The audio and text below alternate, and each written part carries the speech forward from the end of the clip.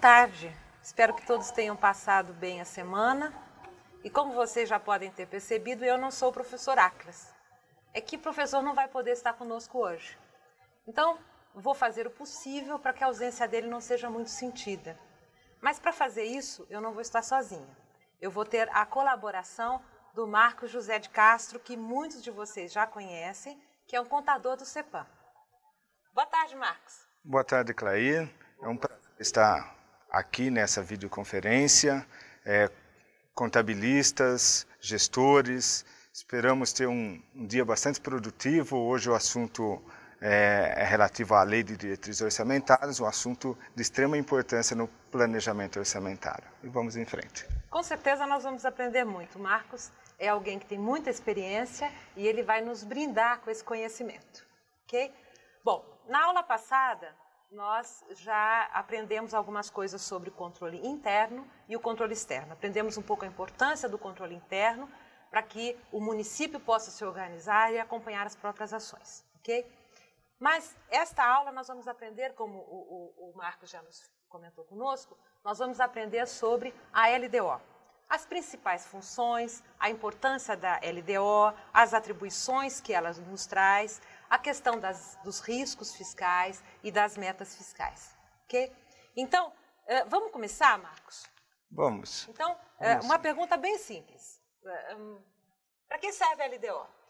Tá certo. A principal função da Lei de Diretrizes Orçamentárias é servir de elo entre o planejamento de médio prazo e aquele de curto prazo, ou seja, entre o PPA e a, a Lei Orçamentária Anual.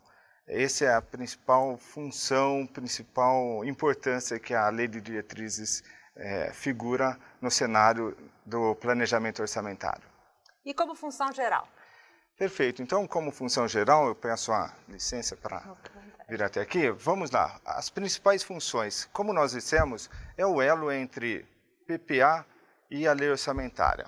Uma observação nesse primeiro momento é que a lei de diretrizes orçamentárias, a maioria dos municípios já tem ela aprovada, no, ainda no primeiro semestre, quando é o prazo de encaminhamento, normalmente nas leis orgânicas municipais constam esses prazos, e, e, a maioria dos municípios já tem aprovado. Porém, ela é anualmente deve ser elaborada.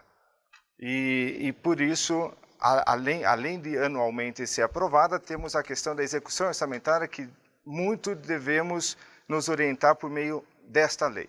Vamos então verificar as principais funções. Primeiramente, eu quero lembrar o PPA.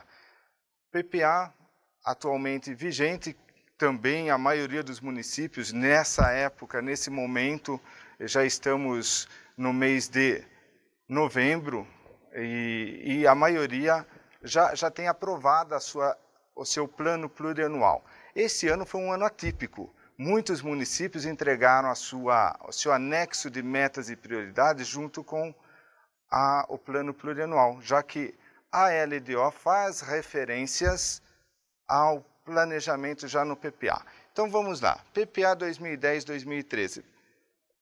Por que constitui o elo? É Lei de Diretrizes Orçamentárias Anual.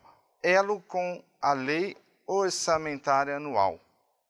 Esse elo é de fundamental importância para viabilizar. Anteriormente, muitos dos, dos, dos planos plurianuais, em função de, das metas serem muito dimensionadas, talvez muito além da real capacidade dos municípios, ela não tinha um elo que, que desse um equilíbrio a, a, essas, a essas funções do plano plurianual. E muitas, e muitas dessas, desses planos, dessas metas, não eram, é, tinham dificuldades de serem viabilizadas em função da questão financeira, do equilíbrio financeiro. Daí a importância da LDO, que ela prioriza as principais metas para cada ano.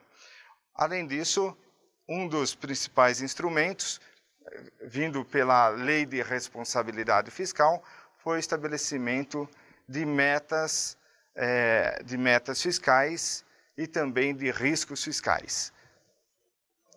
Vamos lá, mais alguns itens. Agora, as principais funções. Primeiro aspecto, apresentar as metas e prioridades da administração municipal, incluindo as despesas de capital. Quando falo incluindo as despesas de capital, significa que aquelas despesas de caráter continuado também devem figurar na lei de diretrizes orçamentárias. Então, as despesas de capital, aquelas também decorrentes, devem figurar a, como prioridade, devem ser apresentadas como prioridades na lei de diretrizes orçamentárias. Hoje tem um aspecto interessante com a implantação do AUDESP, que, do Tribunal de Contas, Auditoria Eletrônica da, das Contas Públicas, nós temos a, a peculiaridade que, é, pela organização do PPA, já estabelecemos as prioridades já no PPA para cada ano. Vocês sabem muito bem que o PPA agora figura as metas para os quatro anos.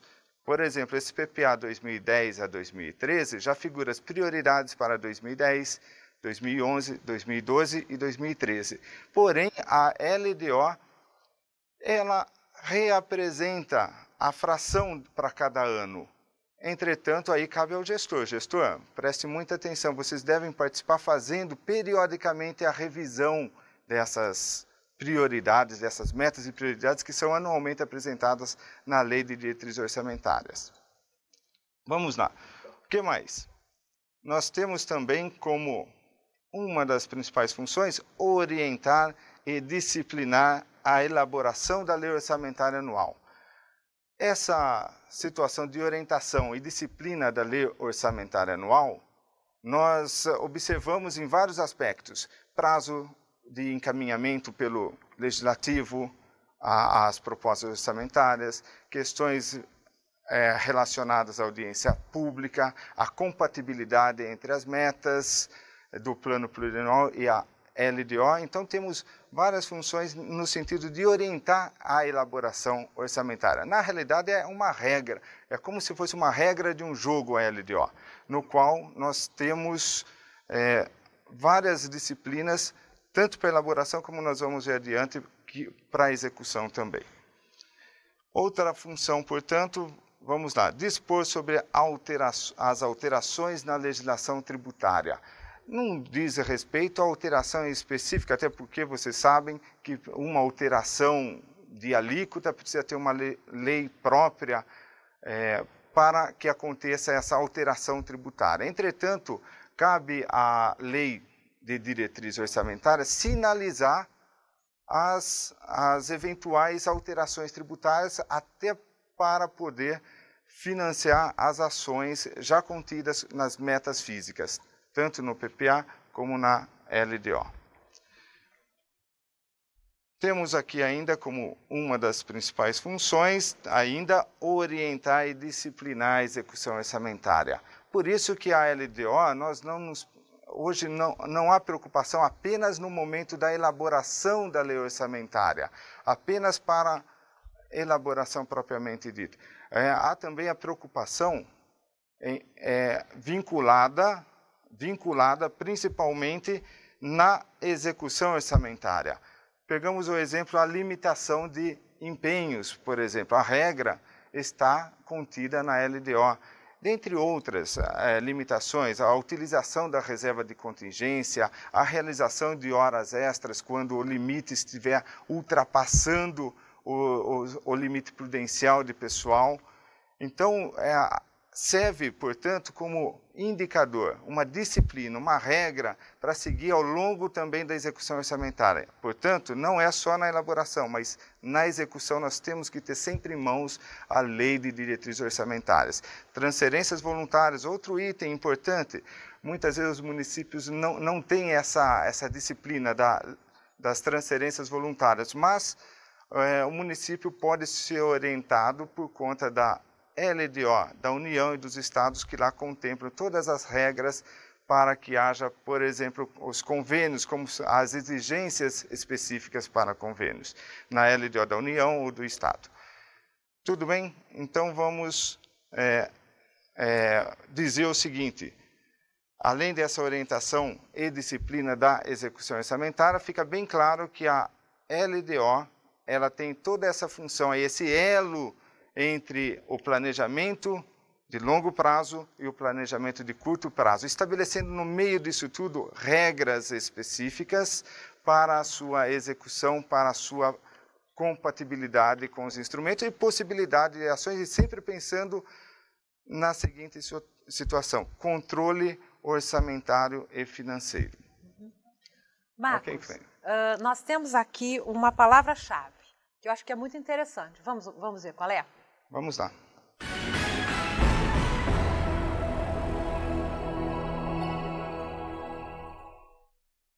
Diretriz é a linha que regula um caminho traçado, o rumo que deve ser seguido, a direção para onde devem apontar as ações de um determinado governo. Muito bem. Ah, vocês observaram que a linha é o rumo da, que segue a administração. A diretriz é o rumo. Portanto, como nós já dissemos, ah, todas aquelas regras devem ser rigorosamente seguidas, até porque está na na, na legislação. Ela tem uma, uma importância fundamental no processo orçamentário, essa questão da diretriz, já que é o rumo, nós gestores, nós planejadores orçamentários, precisamos sempre eh, estar atento a esses rumos já traçados, não só rumos de metas físicas, mas também de, das metas fiscais a serem alcançadas ao longo de determinados períodos. Agora, existe uma série de formulários, uma série de informações que, que, que o contador, o gestor, precisam estar tá, tá processando, não é, Marcos? Perfeito. Eu vou, é, nesse momento, vamos novamente apresentar para vocês. Essa série de, de documentos a serem apresentados diz respeito atualmente ao projeto é, Aldesp. Além da, da, da própria lei que há necessidade, que há de figurar várias disciplinas em relação à lei de responsabilidade fiscal, que disciplina várias padronizações de algumas informações necessárias para obter, mas nós temos também algumas necessidades, até por conta de organização dos sistemas de controle. Hoje se pensa em, em para possibilitar o monitoramento. O Tribunal de Contas, por sua vez, então, pelo projeto Aldesp, é, padronizou, ou pelo menos tentou é, demonstrar as informações necessárias para o gestor fazer a demonstração das metas físicas e até mesmo financeiras. Então vamos lá algumas dessas, dessas metas, desses anexos, desses, desses relatórios específicos da LDO promovido pela UDESP. Primeiro deles, observe, é uma continuidade esse, esse projeto, é, essa, esse anexo 5, planejamento orçamentário da LDO, em relação à descrição dos programas governamentais, metas e custos para o exercício, é decorrente de um processo todo desde o PPA. Vocês podem observar que falando em, eh, comentando sobre a, a LDO, começamos aqui a demonstrar como anexo 5, porque antes vocês já devem ter visto nas aulas anteriores, quando se tratou de PPA, alguns outros anexos. Anexo 1, 2, 3 e 4, que devem ter uma ligação, um elo com a Lei de Diretrizes Orçamentárias. Então vamos lá, demonstrando esses anexos. Notem, nós temos aqui informações, embora não seja um formulário padronizado, mas é orientativo. É muito importante que tenha essa, essa padronização. Lógico que vocês, gestores, devem observar da seguinte forma: para o Tribunal de Contas, nesse caso, por exemplo, tem a necessidade de informações básicas para o acompanhamento da LDO, do plano plurianual. Mas essas informações eu sempre que possível comento com os gestores. Pensem sempre que isso aí serve para a gestão e não apenas eu faço por obrigação legal, por obrigação de uma, da, do controle externo, que é para o acompanhamento, para a fiscalização, para a auditoria. Mas esses instrumentos facilitam muito a gestão, o acompanhamento de toda a gestão orçamentária. Vamos lá a cada item, passo a passo. Primeiramente, pensando-se em na questão da LDO, nós temos aqui o exercício a que se refere. No caso, no exemplo para 2010 que mais? Programa. É um exemplo, escola ao seu alcance. Vocês eh, já devem ter visto a fórmula, devem ter trabalhado e vamos trabalhar um pouquinho mais ainda sobre a formulação dos programas, que é o, o programa diz respeito ao conjunto de ações governamentais, é, refere-se a um conjunto de projetos e atividades para alcançar um objetivo da administração. Notem, esse programa tem um código. E esse código, cada município vai ter o seu código, não é padronizado esse código. O único padronizado para fins de sistema é que seja quatro dígitos e inicie do zero, tá certo? Então, o primeiro aí, 0001, tem um programa que foi estabelecido, escola ao seu alcance, a observação é a seguinte, tem que ter compatibilidade com o plano plurianual. O mesmo código que está no plano plurianual e a mesma nomenclatura deve seguir para a LDO nesse momento. Na realidade, esse, esse anexo é um recorte do PPA apenas. É, embora seja metas e prioridades, a denominação desses anexos, ele vem em função do plano plurianual. Aí que eu digo que cabe ao gestor. Gestor, acompanhe se essas metas ainda são válidas para o próximo ano, para não ficar é, algo fictício, porque o plano plurianual poderia ter uma realidade na sua elaboração, mas ao longo do, do prazo, é, em função das novas prioridades da administração, ele pode ter a necessidade de se fazer revisões nesses instrumentos. Então vamos lá. Código 0001, teoricamente, é o mesmo código que está descrito no plano plurianual. A unidade é responsável pelo programa. Nesse exemplo, Secretaria Municipal de Educação. Também tem um código padronizado, é, seguindo as orientações dos manuais do Aldesp, e vocês trabalham com essa formulação de código, onde o, o 02 diz, diz respeito ao órgão, no caso Prefeitura, o 02 a unidade orçamentária, Secretaria Municipal de Educação, e o 00 a unidade executora, quando for necessário ou quando o município desdobrar em unidades executoras. Nem todos, por exemplo, trabalham com diversas unidades executoras numa mesma secretaria. Então, nesse exemplo, consta, é, o importante é, é fixar que essa codificação deriva do plano plurianual. E, e, não posso ficar alterando. Se eu promover alterações de codificação, eu preciso qualquer alteração na LDO fazer também na, na, no plano plurianual para não dar incompatibilidade no sistema e inconsistências. O que mais? Objetivo. Objetivo vem, tudo isso está já no, no PPA. Eu só estou transcrevendo para a LDO. Então, notem, é, o que é necessário nesse momento é fazer a revisão. Se isso aí continuará, se, essas, se esses objetivos ainda, ainda são prioritários para a administração. Justificativa, é, dizer o porquê estou propondo essa ação e, e esse programa especificamente, e também eu sigo a orientação do plano plurianual. Aqui as metas. Vocês notem, no PPA vocês fracionam isso aí por ano. Nesse caso, teríamos no PPA metas, índices recentes e metas para cada ano. E nessa, no, na LDO já estabeleço apenas para um ano, extraindo de lá. E o valor estimado de cada ação. É importante essa compatibilidade, inclusive ação. Se necessário mudar, sempre por meio de autorização legislativa. Feito isso, nós vamos a mais um anexo, anexo 6, que detalha um pouquinho esses programas. Cada anexo tem um objetivo. Esse primeiro, que nós acabamos de verificar, o 5, é, corresponde à apresentação específica dos programas. E esse 6, já passamos a a demonstrar as unidades executoras e ações voltadas ao desenvolvimento governamental. Então, o que acontece? Esse próximo anexo, vamos ao exemplo direto, ele detalha um pouco mais, continua apresentando o exercício, ele se comunica com os outros anexos, unidade executora, continua a Secretaria Municipal de Educação, o código da unidade 020200 é o mesmo que encontra-se no PPA.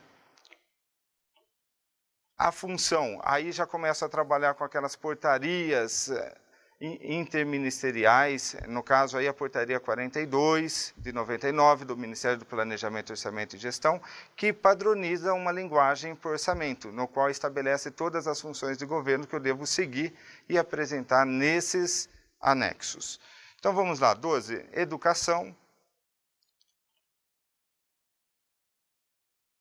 A subfunção ensino fundamental está na portaria 42 também do Ministério do Planejamento, Orçamento e Gestão, e nesses anexos que o Tribunal de Contas sugere e precisa dessas informações, vocês precisam ter essas informações, disponibilizar essas informações, organizar, portanto, a ação governamental de acordo com, com, com essas portarias.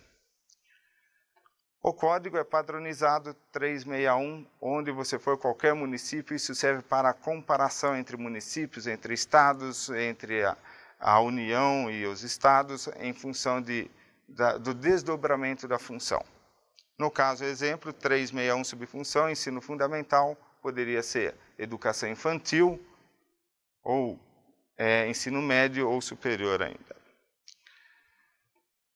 Programa Escola ao seu alcance. Aí entra a criatividade do município e cada município estabelece uma nomenclatura, um programa específico, mas isso aí eu estou puxando de onde? Do PPA. O PPA, por isso que, é, volto a dizer, eu devo ter em mãos o PPA para trazer para a LDO essas informações, mas ainda é, sempre vou frisar que é necessário sempre estar fazendo as revisões para verificar se realmente eu continuo com a necessidade de alcançar esses objetivos e apresentar essa programação. Código do programa, sigo rigorosamente o que consta no PPA. Função, o que acontece, em, pelo menos no início dessa estrutura, é que alguns municípios, na nossa observação, constava uma nomenclatura e um, uma codificação num no PPA e na LDO se alterava essa codificação e aí o sistema não consegue fazer a leitura. Então, esse cuidado que os gestores, que os contabilistas devem ter na, na organização desses procedimentos. Tipo de ações.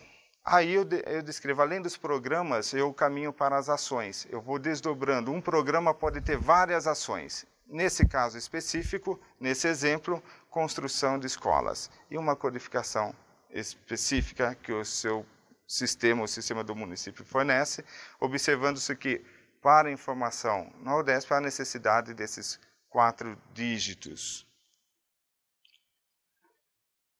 E a metafísica para o exercício. Aqui está constando duas, provavelmente nesse exemplo, ou melhor, especificamente no PPA constava já essas duas unidades a serem construídas, duas escolas a serem construídas no valor de 660 mil reais. Digamos que no PPA constasse uma escola, uma unidade a ser atingida. Então, precisaria ter autorização no PPA, uma autorização para possibilitar a inclusão de mais uma escola, como é, nesse exemplo foi apresentado.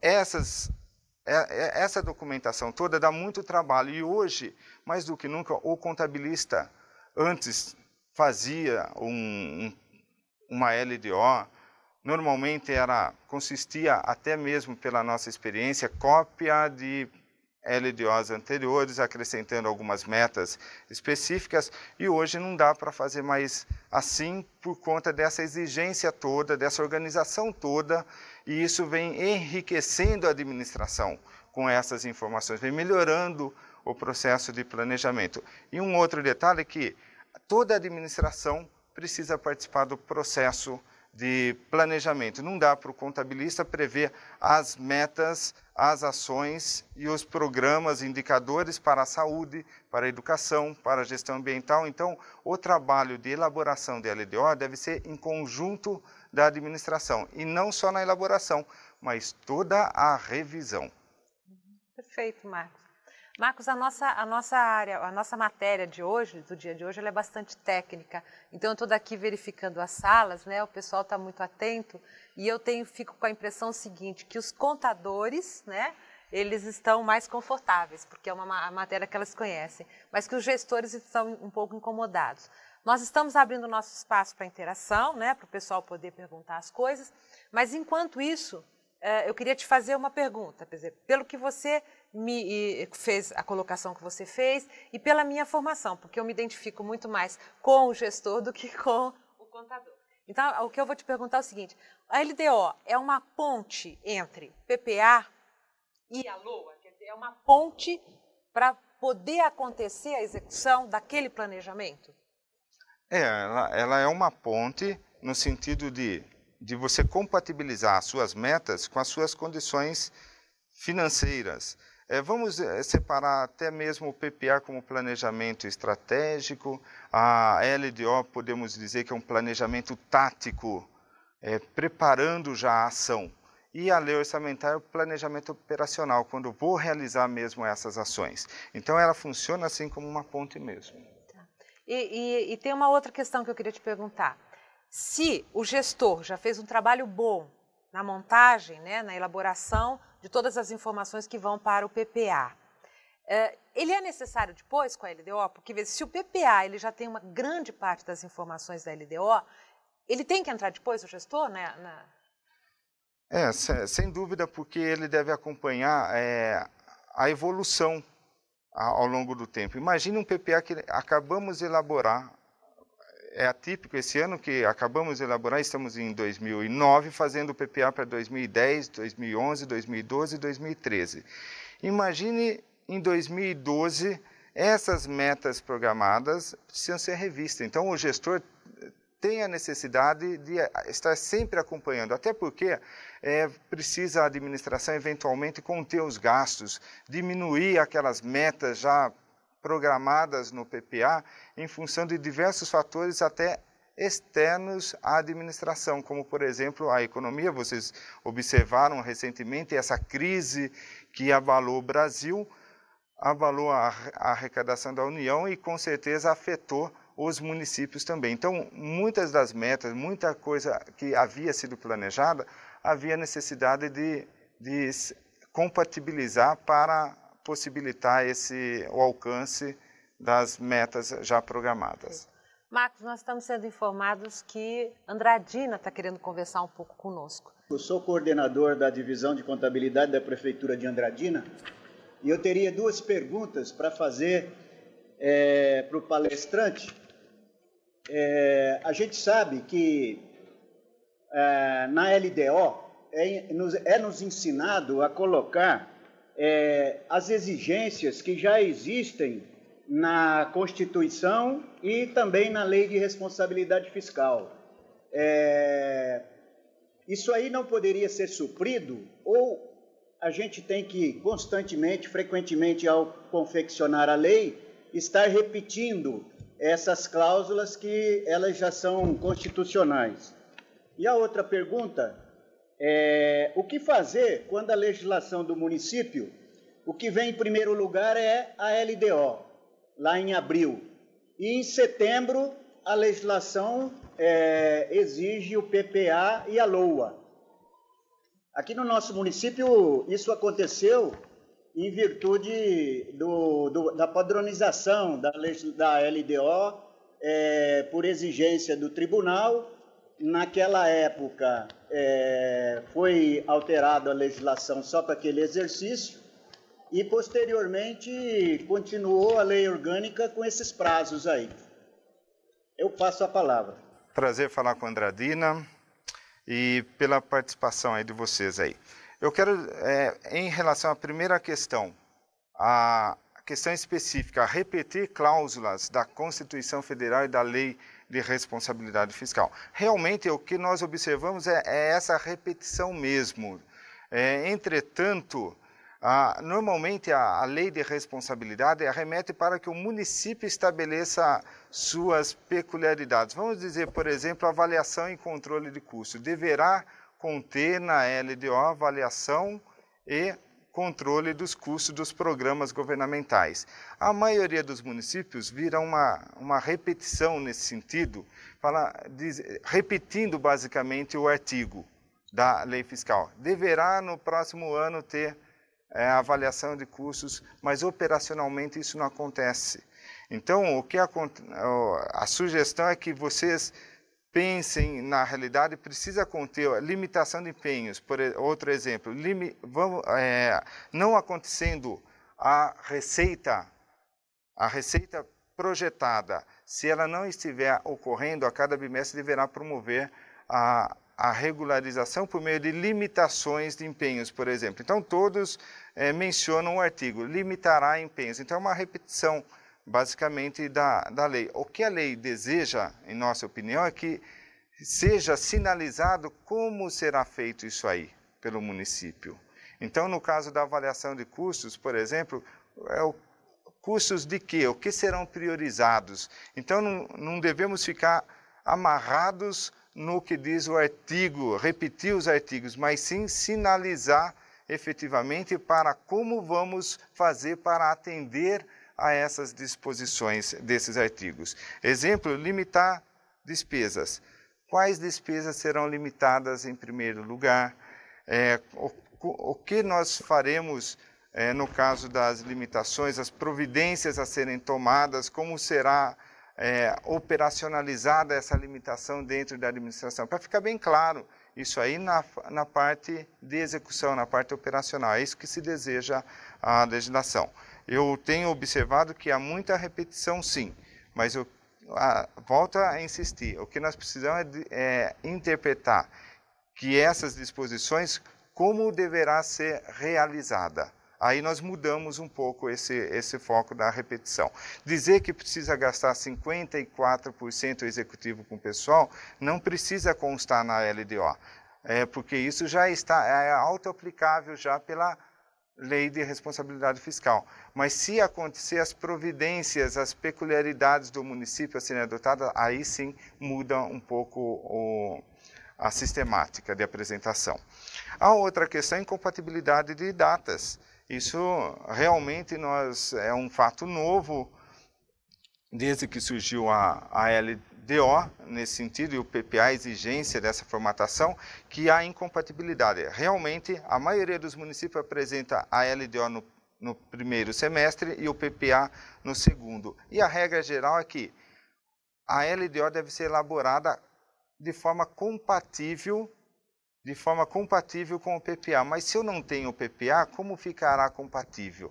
Eu entendi perfeitamente a pergunta é, do colega contabilista nesse sentido. E aí a orientação é a seguinte: esse primeiro ano, esse ano da, do PPA é um ano atípico. A orientação está inclusive no manual do Aldesp das peças de planejamento, que a orientação seja para que nós formula, eh, devemos, que nós devemos formular o anexo de metas e prioridades da LDO, apresentar junto com o PPA, com o projeto de PPA no segundo semestre. É apenas esse ano é atípico. A União já faz isso. A União, no primeiro ano que acontece esse problema, ela também procura enfatizar dessa maneira. Até que venha uma lei, a, a lei complementar, que a gente aguarda ainda, para orientar essa questão de prazos efetivamente. Ok. Marcos, uh, Fernandópolis também está querendo conversar conosco. Então, vamos ouvir Fernandópolis. Boa tarde a todos.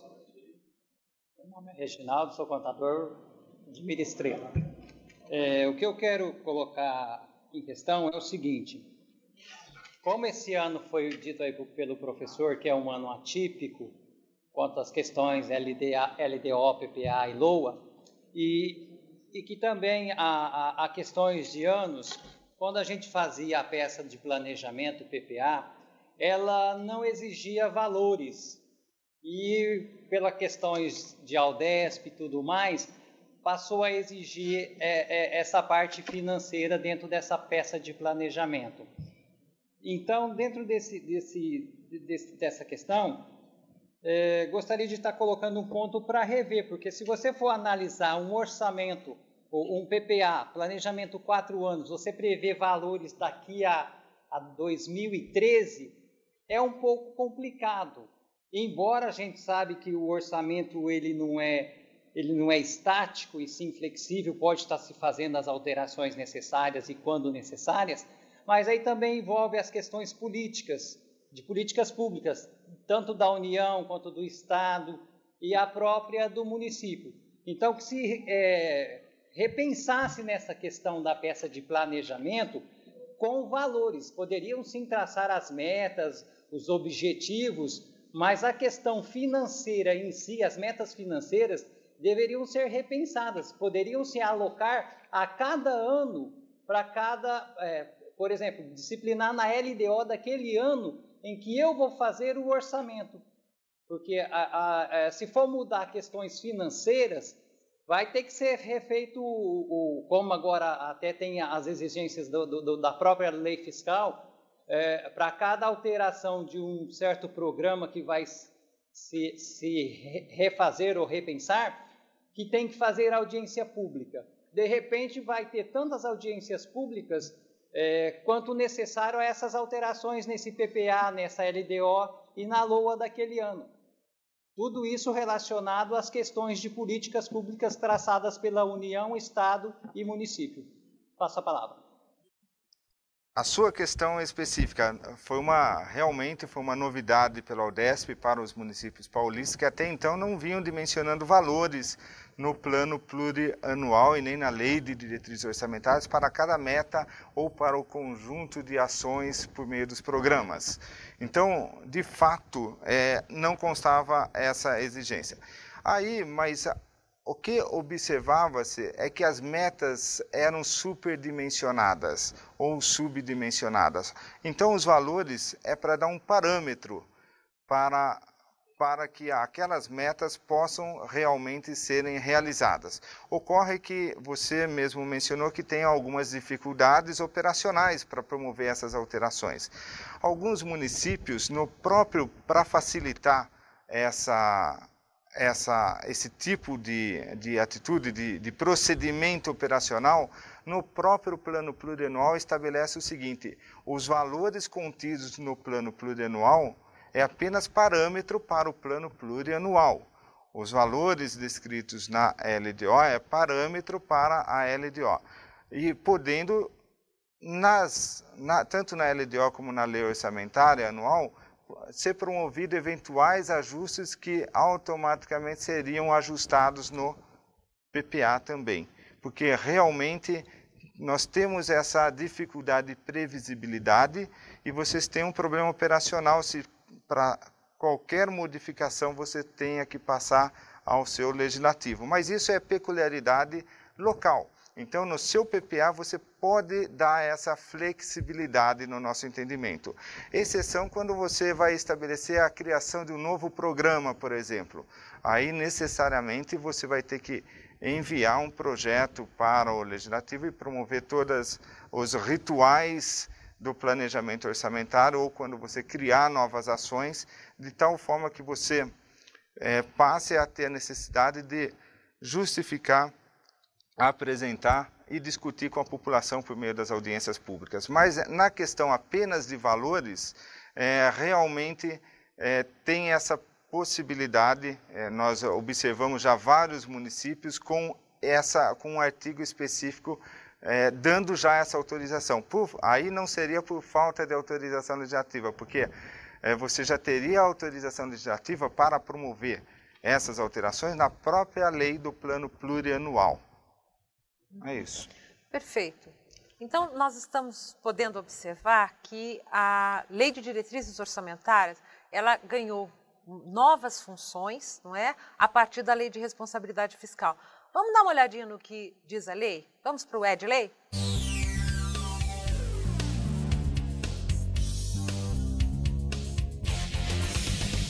Ed Lei a Lei de Responsabilidade Fiscal diz que deverá constar na LDO o equilíbrio entre receitas e despesas, os critérios e a forma de limitação de empenho, as normas relativas ao controle dos custos e à avaliação dos resultados dos programas e as exigências para transferências de recursos a entidades.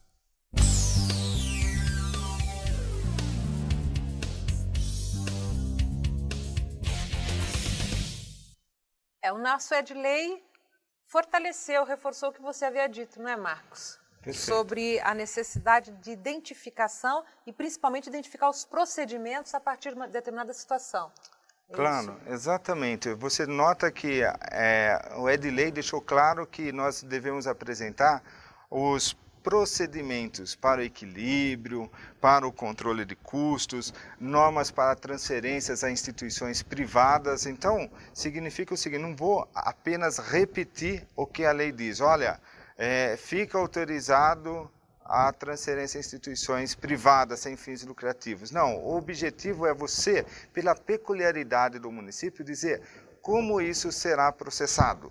Isso será feito para as entidades apenas sem fins lucrativos, devidamente registrada nos conselhos municipais. Então, essas regras que, que devem estar contidas na LDO, e não simplesmente repetir mesmo esses artigos. Então, reforçou, de fato. Perfeito. Nós estamos aqui com um vídeo muito interessante do Flávio Correia Toledo Júnior, que é do Tribunal de Contas, mas também é autor de três obras a respeito da Lei de Responsabilidade Fiscal. Portanto, ele tem muito para nos trazer de informações. Vamos ouvir o nosso VT? Da Lei de Responsabilidade Fiscal imperava o mau planejamento nas prefeituras a gente tinha o, várias mazelas, obras paralisadas e também, principalmente, o déficit orçamentário. Se fazia muita despesa sem ter a receita, isso acumulava em dívida e, consequentemente, o fornecedor ficava sem receber da prefeitura.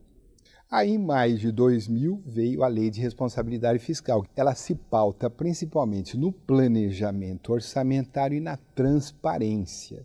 E nesse processo, ela valorizou demais a Lei de Diretrizes Orçamentárias, a LDO, que é uma lei que municia, que subsidia a lei orçamentária anual.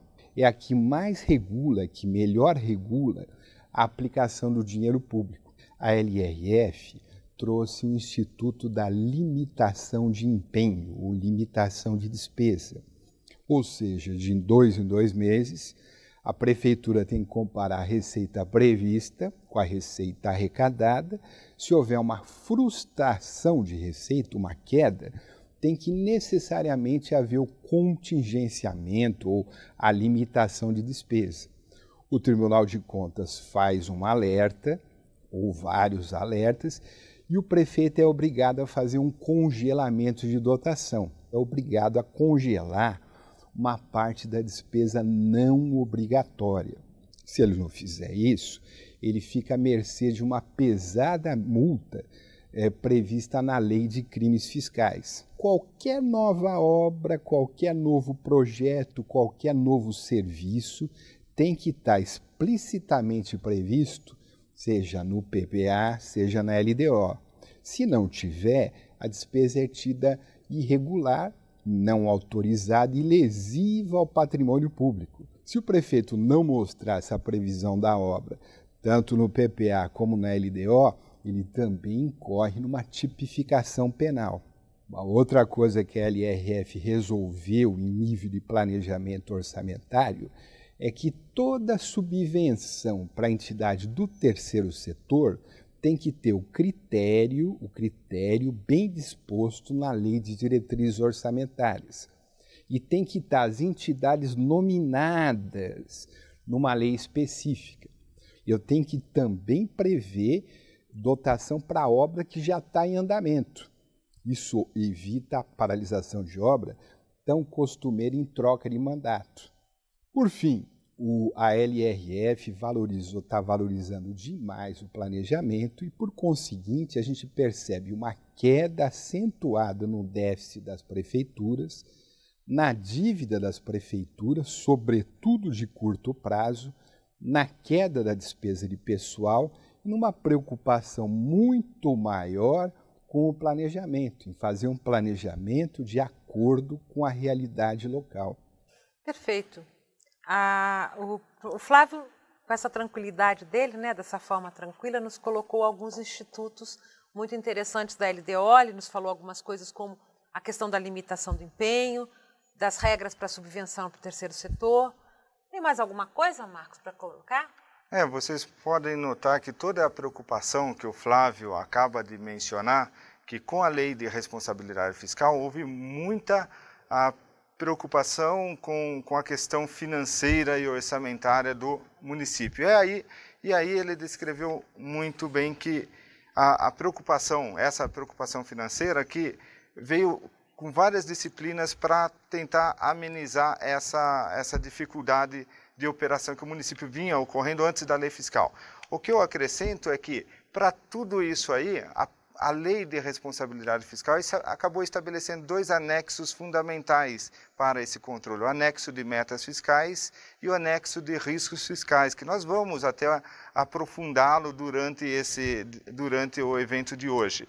Mas eu gostaria de lembrar e reforçar que, além disso, há uma série de preocupações. E eu vou destacar, por exemplo, aquela questão do fundo de previdência, do regime próprio de previdência social, no qual a, a lei de responsabilidade fiscal prevê, entre, dentre um dos anexos, a demonstração da avaliação atuarial dos regimes próprios, do sistema de previdência próprio, capaz de dificultar a médio e longo prazo a gestão municipal dentre outras funções. Mas o anexo de metas fiscais, ao estabelecer diversas metas de resultado, vem contribuir para dois objetivos da lei fiscal: evitar o déficit orçamentário e reduzir o endividamento público. E nota-se que nos últimos anos os municípios paulistas vêm desempenhando um papel é, bom na nossa avaliação, até porque se enquadraram quase todos no limite de pessoal,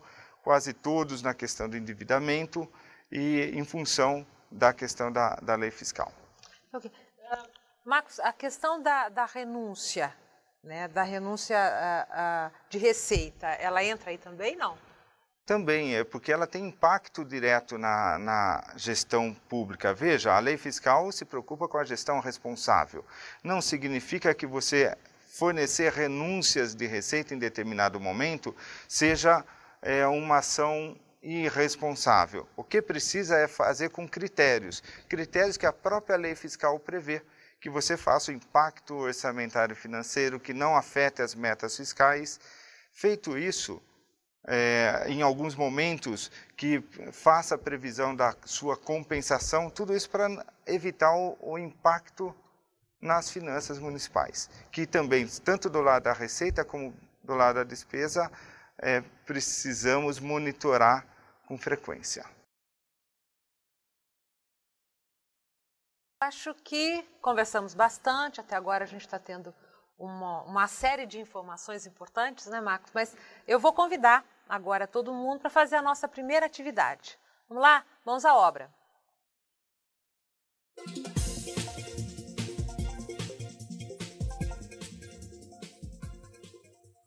Bom, nessa primeira atividade, é uma atividade que vai ser discutida em grupo, tá? Como vocês estão acostumados a fazer.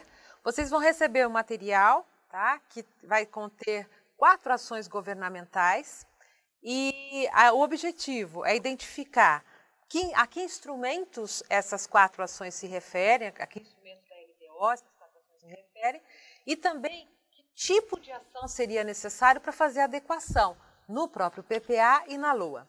Junto com o material que vocês estão recebendo, também tem um anexo onde tem parte, vamos dizer, da lei de responsabilidade fiscal que envolve os temas, ok? Uh, Para essa atividade, nós teremos uh, cerca de 50 minutos e depois mais 10 minutos para discussão em grupo, que, que todo mundo considerou importante, então isso foi colocado já há algum tempo, para que todo o grupo conheça a, a, basicamente o que foi estudado individualmente e defina né, quem vai participar ou quem vai apresentar aqui para a nossa interação, ok?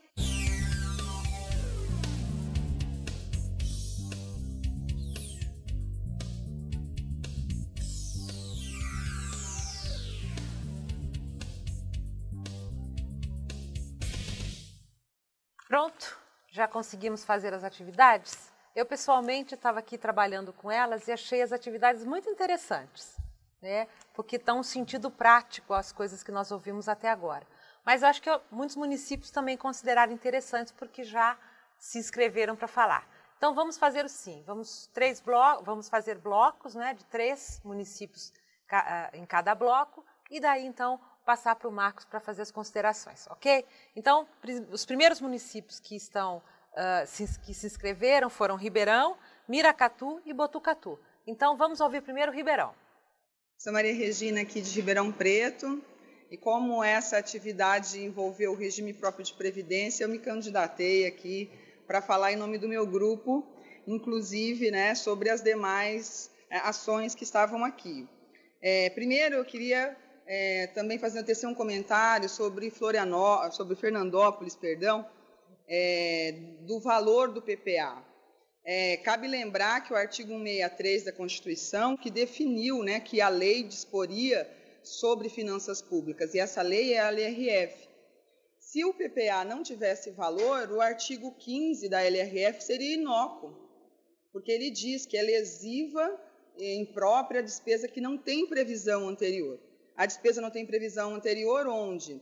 No PPA. Para que ela tenha previsão anterior, claro que ela tem que ter esses valores. Inclusive, já pegando o gancho aqui da atividade, para definir os problemas que nós encontramos aqui, eu e meu grupo encontramos, é, que nos foi passado. Então, no primeiro caso, a empregabilidade dos jovens, a primeira medida era analisar se esse programa ele estava contemplado no PPA, né? E se estivesse, conforme define o artigo 4 o inciso 1, a linha A, promover o equilíbrio entre as receitas e a despesa se esse fosse um novo gasto para despesa, naturalmente isso teria que ser suplementado, utilizando um dos artifícios lá do artigo 41 da 4320, né, as fontes para suplementação, que agora, no, no meu entendimento particular, não basta que haja dispositivo no orçamento.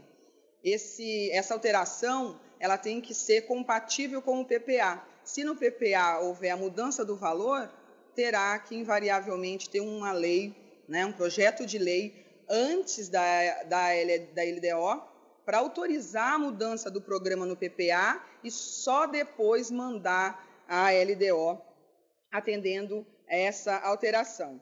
Também, seguindo ainda aqui a LRF, no artigo 4 parágrafo 2 analisar é, se essa expansão do gasto estava dentro das metas, né, as metas do exercício anterior e aquelas dos três exercícios passados para ver se isso era compatível, é, aumentar essa despesa.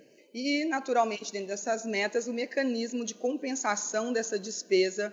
Claro, se eu terei uma despesa maior, eu terei que gastar menos em outro programa. Rapidamente, aqui, para não, não, não monopolizar o tempo, o artigo, é, são dois, né? O RPPS, eu queria, Marcos, se você me permite, né, fazer uma pequena ressalva no que você colocou, que o RPPS ele não causa problema para o ente. Né? Os RPPS hoje, infelizmente, têm causado por más gestões, por gestões sem planejamento. Né? A partir de agora, com essa nosso treinamento, aprendendo a fazer o treinamento, LRF, né, atendendo aqui ao inciso, ao artigo 4 também, o inciso 4, né, avaliar o impacto do regime de previdência. É, entendo eu que o PPA ele tem inclusive que ter valor e ser cumprido no próximo ano quando o prefeito entra, né? É justamente por isso, porque no primeiro ano ele não pode querer satisfazer as suas promessas de campanha. Ele vai ter que analisar se no período anterior, no PPA anterior, havia previsão de criação do Instituto de Previdência. Se não houver, naquele ano, salvo alteração da lei novamente, isso não é possível. Também, é, antes de mais nada, fazer um cálculo atuarial, porque hoje o momento que nós atravessamos não é incentivo de aposentadoria, infelizmente, pelo contrário, é incentivo para continuar trabalhando sem aposentar, né? Parece meio incabível no município, até por ser matéria constitucional, ele querer criar alguma vantagem para aposentar mais cedo, né?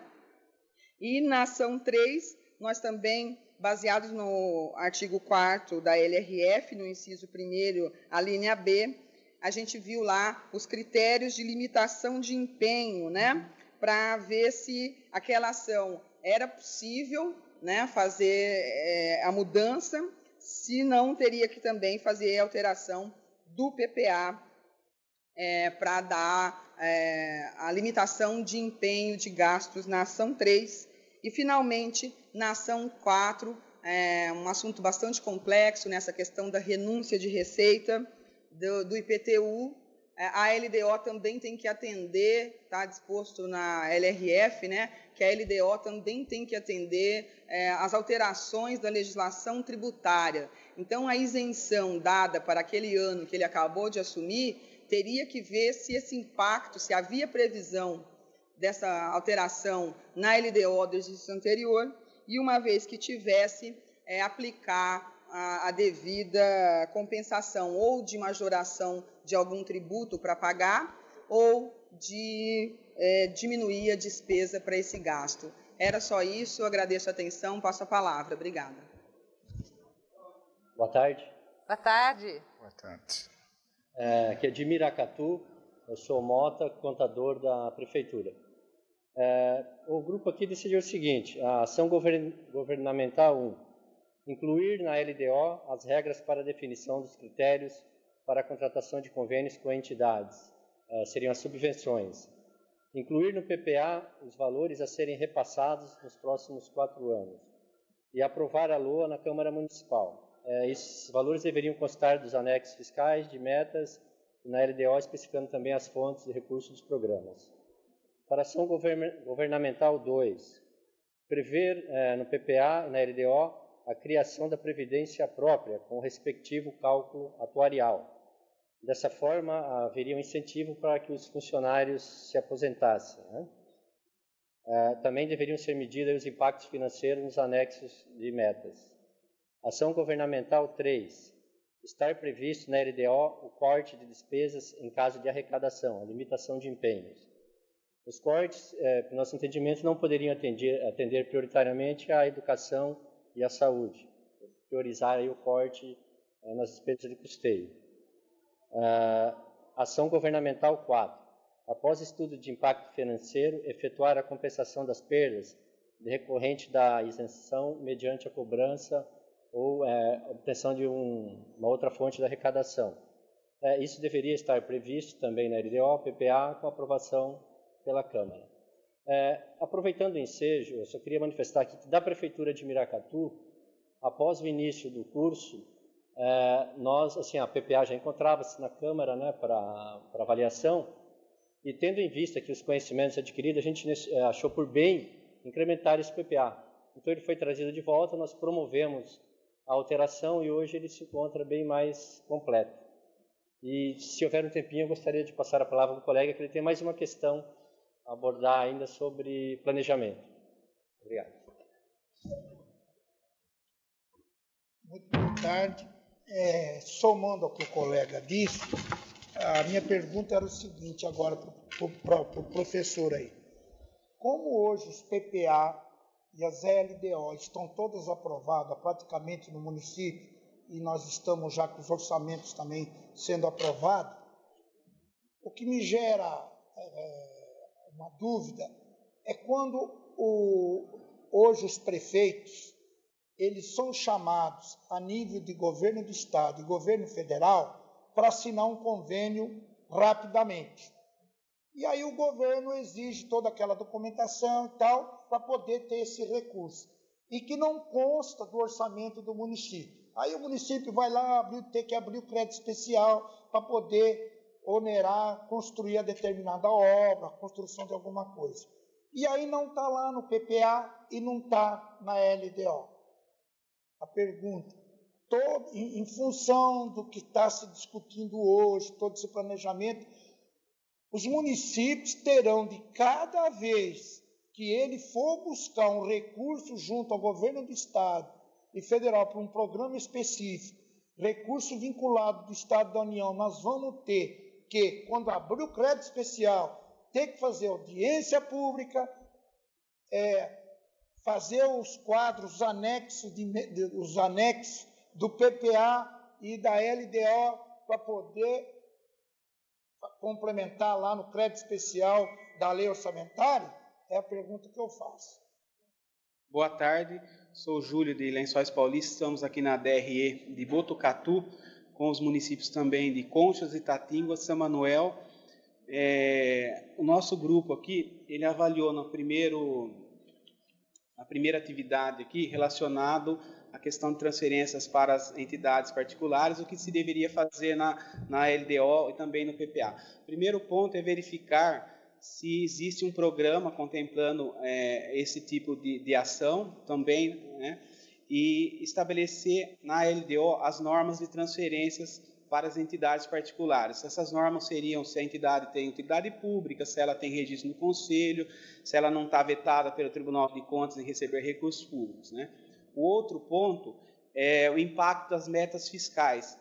É, observar se essa transferência de recurso ela vai acarretar é, numa despesa também de caráter obrigatório, se o município vai ter recurso para fazer é, da forma que está sendo proposto, e para isso, verificar no anexo da LDO, é, no quadro onde se, se, vê a margem de expansão de despesas obrigatórias, se, foi, se existe essa margem para ah, esse incremento dessa despesa, caso não, não esteja, qual seria a, a a forma de estar tá compensando essa nova despesa, através de uma redução de despesa também, onde o aumento de receita.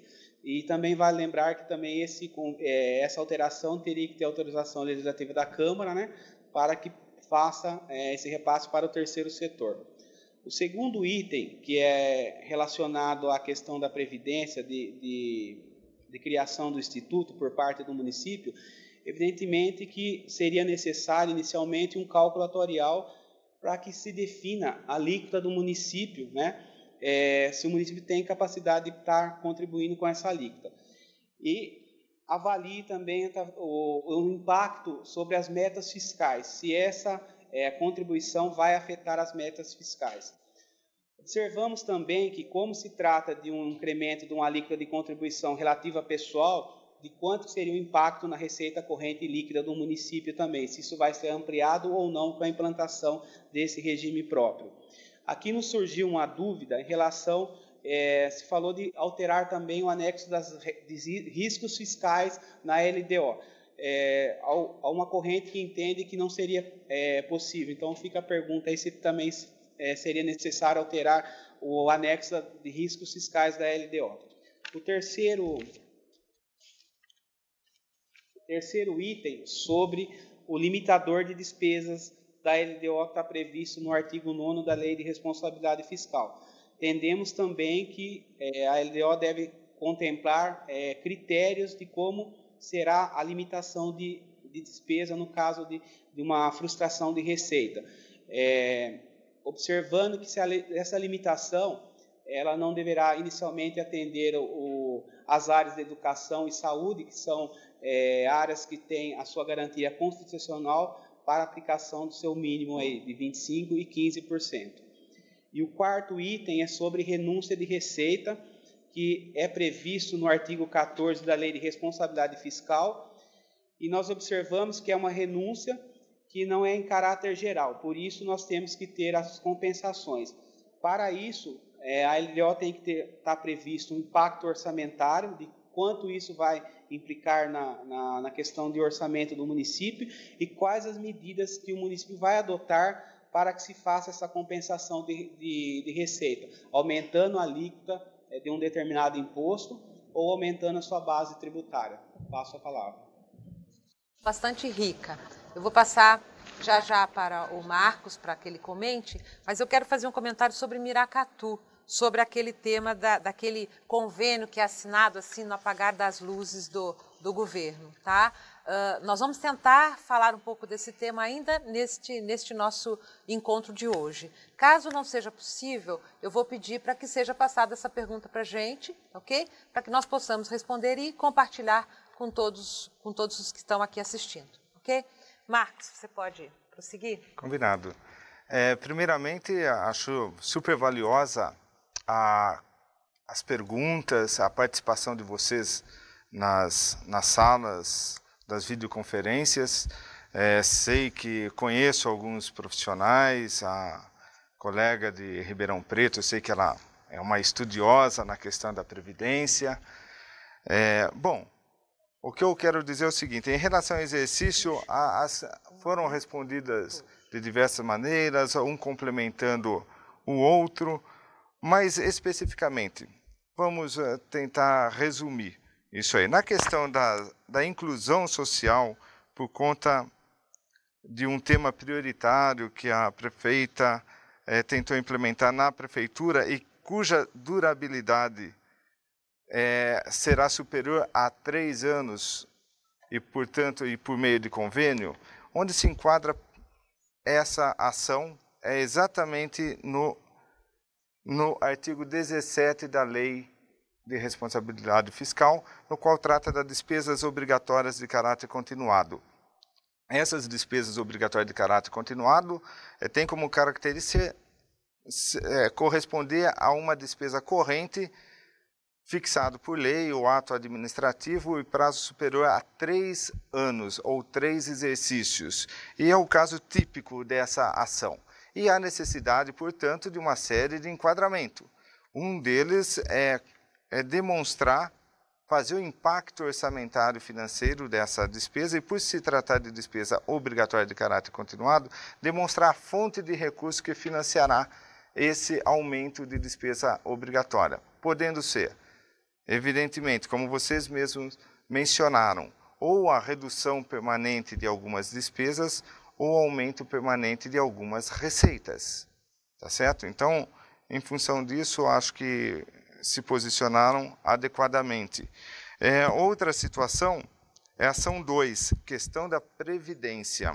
É, a Maria Regina lembrou bem, nós observamos aqui também, é um exemplo fictício, evidentemente, é, no qual foi dito que o município iria incentivar a aposentadoria. Logicamente que nós temos que sempre estar respeitando a, a legislação nacional, é ela que, que tem o poder, tem essa, essa condição de estar tratando desse assunto, de, da forma de aposentadorias. Não dá para o município criar regras específicas nesse sentido. Agora, é necessário se faz, ah, como vocês mencionaram, a questão do da, da, questão da avaliação atuarial é um importante subsídio para a implementação dessa ação. Importante porque ela dá uma, uma margem para até para observar se o município a médio e longo prazo será um bom negócio para o município se enquadrar ou assumir uma previdência própria.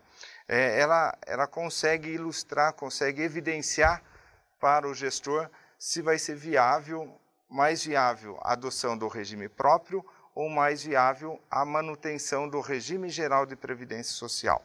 Então, é um, o, o, cálculo atuarial é um parâmetro, é, evidentemente. E aí, necessário se faz, como vocês também disseram, a previsão, vou montar um regime próprio de previdência social. Toda essa previsão está no plano plurianual e na LDO e, consequentemente, nas leis orçamentárias, e definir os critérios que financiarão essa, essas aposentadorias, pensões e demais benefícios da Previdência Social. É, e a, as fontes de recurso normalmente é decorrente das contribuições, que passam a ser obrigatórias e, volto a dizer, a avaliação atuarial, o cálculo atuarial, vai sugerir para que o município estabeleça a alíquota que mantenha o equilíbrio financeiro e atuarial a longo prazo. A questão da ação 3, limitação é, de despesa em, em função da, do, da crise econômica, ficou definido que providenciar-se conter despesas no município. E todos vocês responderam, a limitação se enquadra muito bem na limitação é, de, de despesas ou de empenhos e os critérios, volto a dizer, estão na LDO.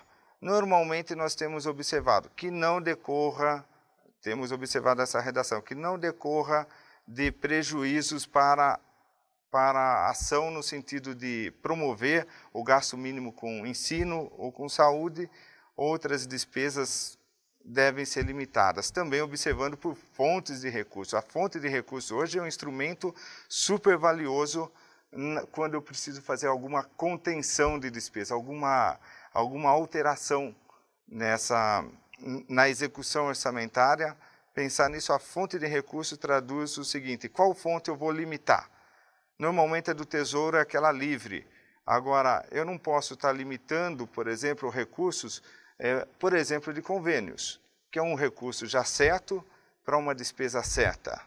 E alguns fundos também, como fundo da, da criança e do adolescente, no qual conta com receitas certas para finalidades certas, também já especificadas. Então, normalmente, a promoção da limitação vou fazer principalmente naquelas despesas vinculadas ao, aos recursos do Tesouro que aí os critérios estarão estabelecidos na LDO. E por último, é, nesse sentido, nós temos a questão da renúncia de receita. Na ação governamental número 4, se enquadra especificamente ao artigo 14 da Lei de Responsabilidade Fiscal, que, por uma questão de, de gestão responsável, diz o seguinte: não é proibido renunciar à receita. O que precisa é fazer com critérios, obedecendo os, as diretrizes da própria Lei de Responsabilidade Fiscal, no seu artigo 14, que prevê que vocês façam o impacto orçamentário e financeiro, além de fazer o impacto orçamentário e financeiro que promova a ação de compensação, se for o caso, ou que demonstre que essa previsão de renúncia já foi considerada na lei orçamentária anual. Ou seja, ainda que não afetará as metas de resultados fiscais, que é o objetivo lógico e claro da lei fiscal. Ok. Uh, Marcos, a nossa equipe técnica está nos avisando que o nosso tempo está curto, mas ainda dá tempo de ouvir a CIS. Vamos ouvir a CIS? Vamos lá. Boa tarde. É, boa tarde ao Marcos Zé de Castro, companheiro nosso. Né? É, nós desenvolvemos um material em cima das ações governamentais é, dando sequência às ações de renovação do quadro de servidores, muito defendido pelo prefeito Pedro durante sua campanha, o mesmo resolve promover um programa de incentivo à aposentadoria. Para tanto, determina que sua equipe tome providências para colocar em funcionamento, ainda no corrente ano, o Instituto de Previdência Municipal. Com base nessa ação governamental, nós vimos que, como o como o Instituto deu seu o mesmo ano por meio de lei específica, tendo que oferecer os mesmos benefícios do regime geral de previdência social e INSS. Antes da criação por meio de lei, é necessário é, verificar a viabilidade da criação do instituto através do cálculo atuarial, com memória de cálculo, né, e ver a fonte de custeio necessária para a criação de tal né, programa uma vez é, criada a lei e o cálculo atuarial, também deverá ser verificado o impacto orçamentário e financeiro das despesas obrigatórias de caráter continuado. A inclusão nas peças de planejamento, já aprovados por meio de audiências públicas, e verificar o limite dos gastos previdenciários, previsto na Lei de Responsabilidade Fiscal e nas legislações pertinentes, né, devendo ser até 12% da receita corrente líquida devendo também ser emitido ao Legislativo para aprovação das peças. Passa a palavra. Tá bem, Custódio, um abraço para você, primeiramente. Obrigado por, por estar participando aí. E eu quero dizer o seguinte, você abordou bem a questão da, da previdência, né? A questão dos limites, hoje ela tinha uma portaria que definia os limites e hoje não há esse limite de 12% é, especificamente. Mas você falou bem essa questão da necessidade, como nós já conversamos antes, desse estudo é, anterior da viabilidade da implementação, da implantação desse, desse sistema, observando seus critérios do regime geral, os benefícios que temos e toda essa limitação para se fazer. E e basicamente nessa questão da previdência aí, então você fez o detalhamento da previsão do PPA, da LDO, porque toda ação nova que vai vai ser implementada no município tem que passar por esses instrumentos. Eu acho que está ficando cada vez mais claro para vocês, acho que já era, mas a gente vem discutindo sempre essa necessidade de sempre estar observando se foi planejado antes. Eu fiquei com uma, uma pendência e serve também essa ainda nessa ação a questão dos riscos fiscais.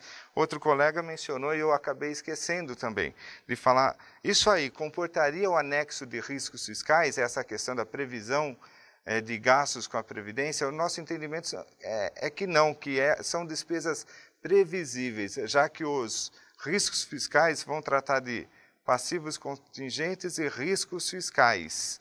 É, normalmente, a despesa previdenciária, com uma boa gestão de recursos humanos, é, normalmente elas serão previsíveis. Portanto, não terão a necessidade do, de constar no anexo de riscos fiscais, salvo algo que extrapole essa previsão que não seja possível pela verificação ao longo do, do tempo.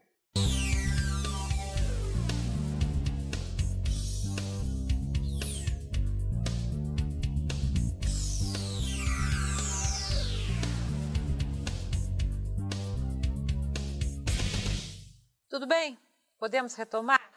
Agora, na nossa primeira parte, o Marcos com o conteúdo. Marcos? Ok. É, nesse momento, nós vamos falar um pouquinho sobre o anexo de metas fiscais e de riscos fiscais, inovado pela Lei de Responsabilidade Fiscal e um dos instrumentos principais da lei fiscal. Aliás, obrigatório, todos os gestores devem apresentar anualmente esse relatório em conjunto com as metas e prioridades físicas e mais o projeto de lei da LDO. Então vamos iniciar pelo anexo de metas fiscais. O anexo de metas fiscais é aquele anexo que vai que tem muita preocupação com o aspecto financeiro para até para alcançar os resultados pretendidos da lei fiscal que é evitar o déficit orçamentário e reduzir o endividamento. Então, começando pela parte das receitas.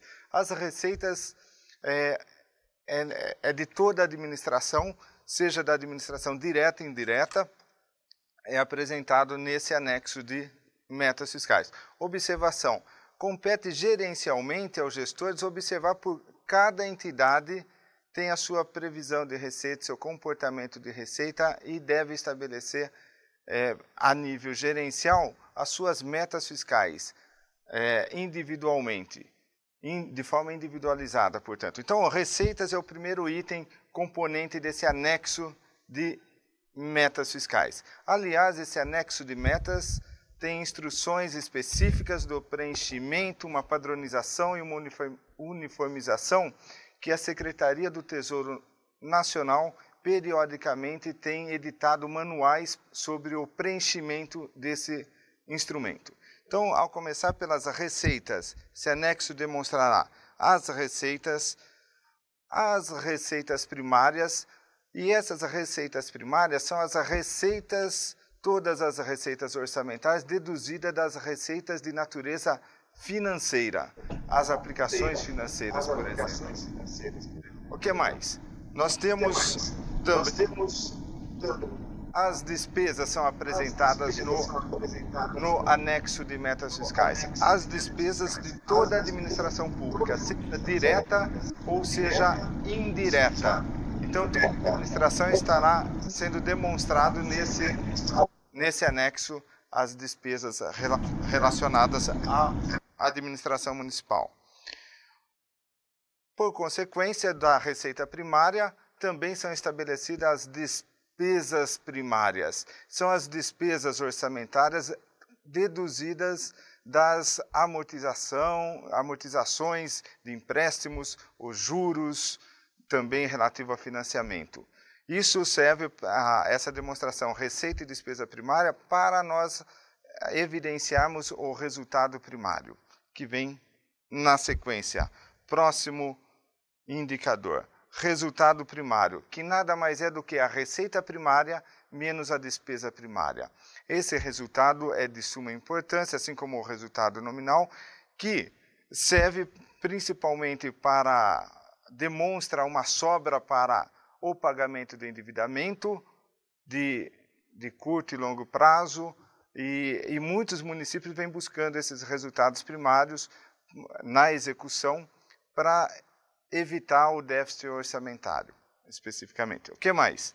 Nós temos o resultado nominal. O resultado nominal é a diferença entre os dois montantes, o montante, o saldo de endividamento de, entre dois períodos. Por exemplo, o saldo, é, o resultado primário de 2009 é a diferença entre o saldo da dívida consolidada líquida em 31 de dezembro de 2009 menos o saldo da dívida consolidada líquida de 31 de dezembro de 2008. Esse é o resultado nominal e, e objetivo, voltamos a dizer, da lei fiscal foi estabelecer essa redução desse resultado nominal, obtenção de resultado nominal para diminuir o endividamento e resultados primários é, permanentemente as administrações vêm buscando alcançar.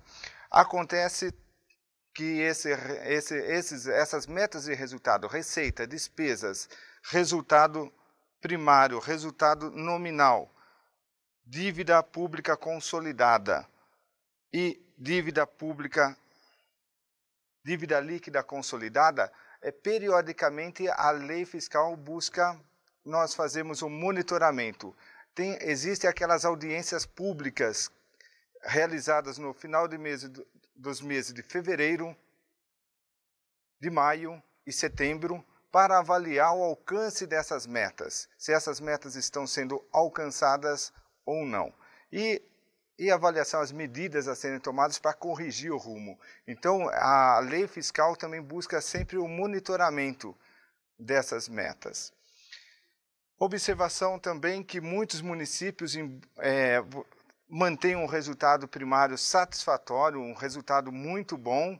É, porém, aí vem a pergunta por parte da imprensa, por parte de, de, dos demais gestores, mas a administração está tão bem no aspecto financeiro, por que ainda, ainda tem problemas a cidade? Porque, evidentemente, a cidade é, exige uma série de ações do governo que, com a receita que dispõe, nem sempre consegue atender. Então, a, a, o resultado prima, primário, o resultado nominal, essas metas de redu, resultados são importantes alcançar, porém, é, fica bem claro que os municípios têm a dificuldade de atender a demanda social, mesmo com resultados positivos, por conta da, da limitação das receitas e da, da questão infinita de demandas sociais. O que contempla esse anexo de metas fiscais? Além de demonstrar as metas para o ano seguinte e para os dois subsequentes, a LDO também é, tem o objetivo de demonstrar avaliação do cumprimento das metas fiscais do exercício anterior. Então, ela tem sempre a preocupação com o monitoramento, com a boa gestão, não deixa um instrumento isolado. Permanentemente, nós temos que fazer esse exercício para realmente pensarmos e realmente utilizar esses instrumentos como planejamento. O que mais? Demonstrativo 3 é um outro demonstrativo que segue as metas fiscais, que são os, as metas fiscais atuais comparadas com as metas fiscais fixadas nos três exercícios anteriores. Então, a preocupação da lei sempre demonstrar a consistência das metas, a evolução do, das metas fiscais ao longo do tempo. Temos um outro demonstrativo que complementa ainda a, o anexo de metas fiscais, que é o demonstrativo 4, que é a evolução do patrimônio líquido. O patrimônio líquido, que é um termo contábil, evidentemente, mas que demonstra se o patrimônio da entidade vem crescendo ou diminuindo ao longo do tempo. O, o crescimento decorre de, de superávites orçamentários, de acréscimos patrimoniais, enquanto que o crescimento negativo ou diminuição do patrimônio líquido decorre de um endividamento ou de um déficit orçamentário que ocorre em determinados períodos. Próximo item, origem e aplicação dos recursos obtidos com alienação de ativos. Preocupação evidente da lei fiscal é que qualquer venda de ativo, seja um bem móvel ou imóvel da, da prefeitura, é, não promova o decréscimo do patrimônio. A, a, lei fiscal determina que qualquer venda de ativo seja aplicado em um outro ativo, ou seja, uma despesa de capital, investimento ou, em alguns casos, se a lei autorizar, para aplicar no pagamento de dívidas previdenciárias. Próximo item.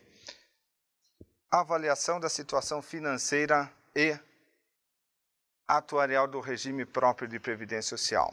É uma preocupação com a previdência que nós já comentamos, é, que isso aí demonstre que sirva para uma avaliação do comportamento da atuação do município em relação ao regime próprio de previdência, um parâmetro é, orientativo de como será e como se encontra a previdência social no município num determinado momento. Nós temos ainda a estimativa e compensação de renúncia de receita. Ela já sinaliza as, com esse demonstrativo as intenções de se fazer as renúncias de receita e já demonstra também as possíveis compensações eh, se forem implementadas essas renúncias. Outro componente é o anexo 8, é a, diz respeito à margem de expansão das despesas obrigatórias de caráter continuado. É um outro demonstrativo, vocês podem notar que toda, toda a, o anexo de metas fiscais tem como objetivo assegurar o equilíbrio das contas públicas. Então, quando se fala pensar nas renúncias de receita, é evitar a perda de arrecadação de forma irresponsável ou sem avaliar os impactos nas finanças públicas.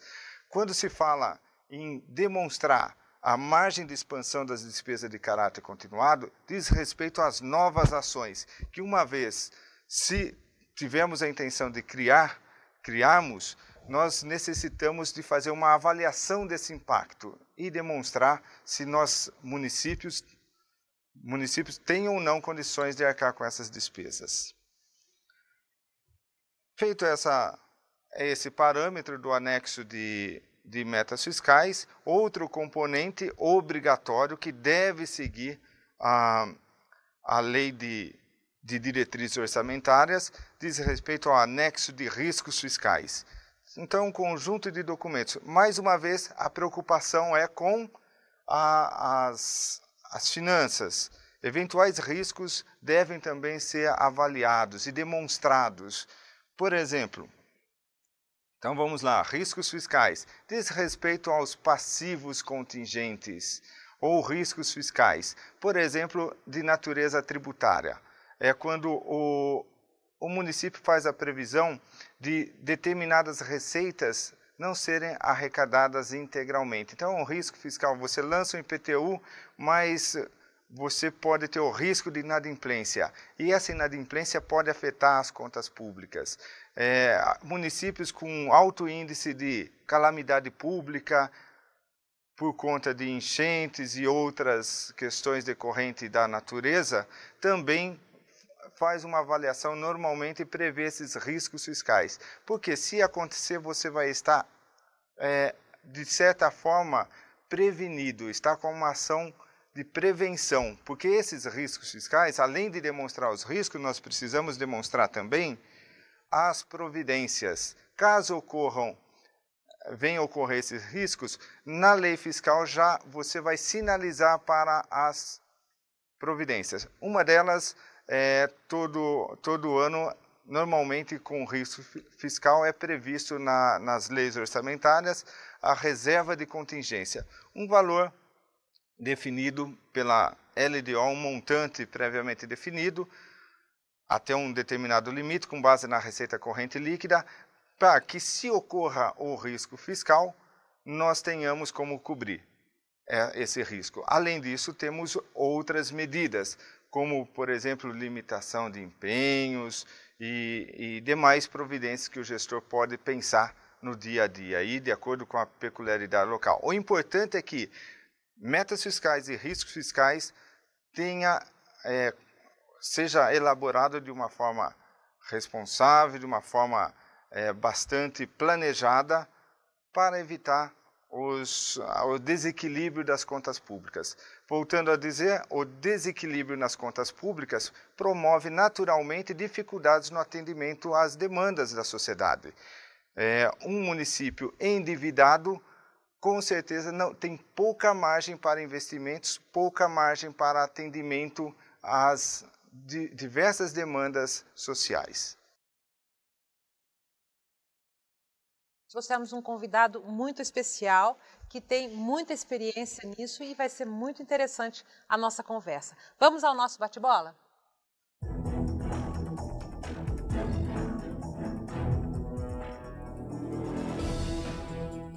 Nosso convidado de hoje, ele tem 13 anos de experiência nessa área de planejamento orçamentário.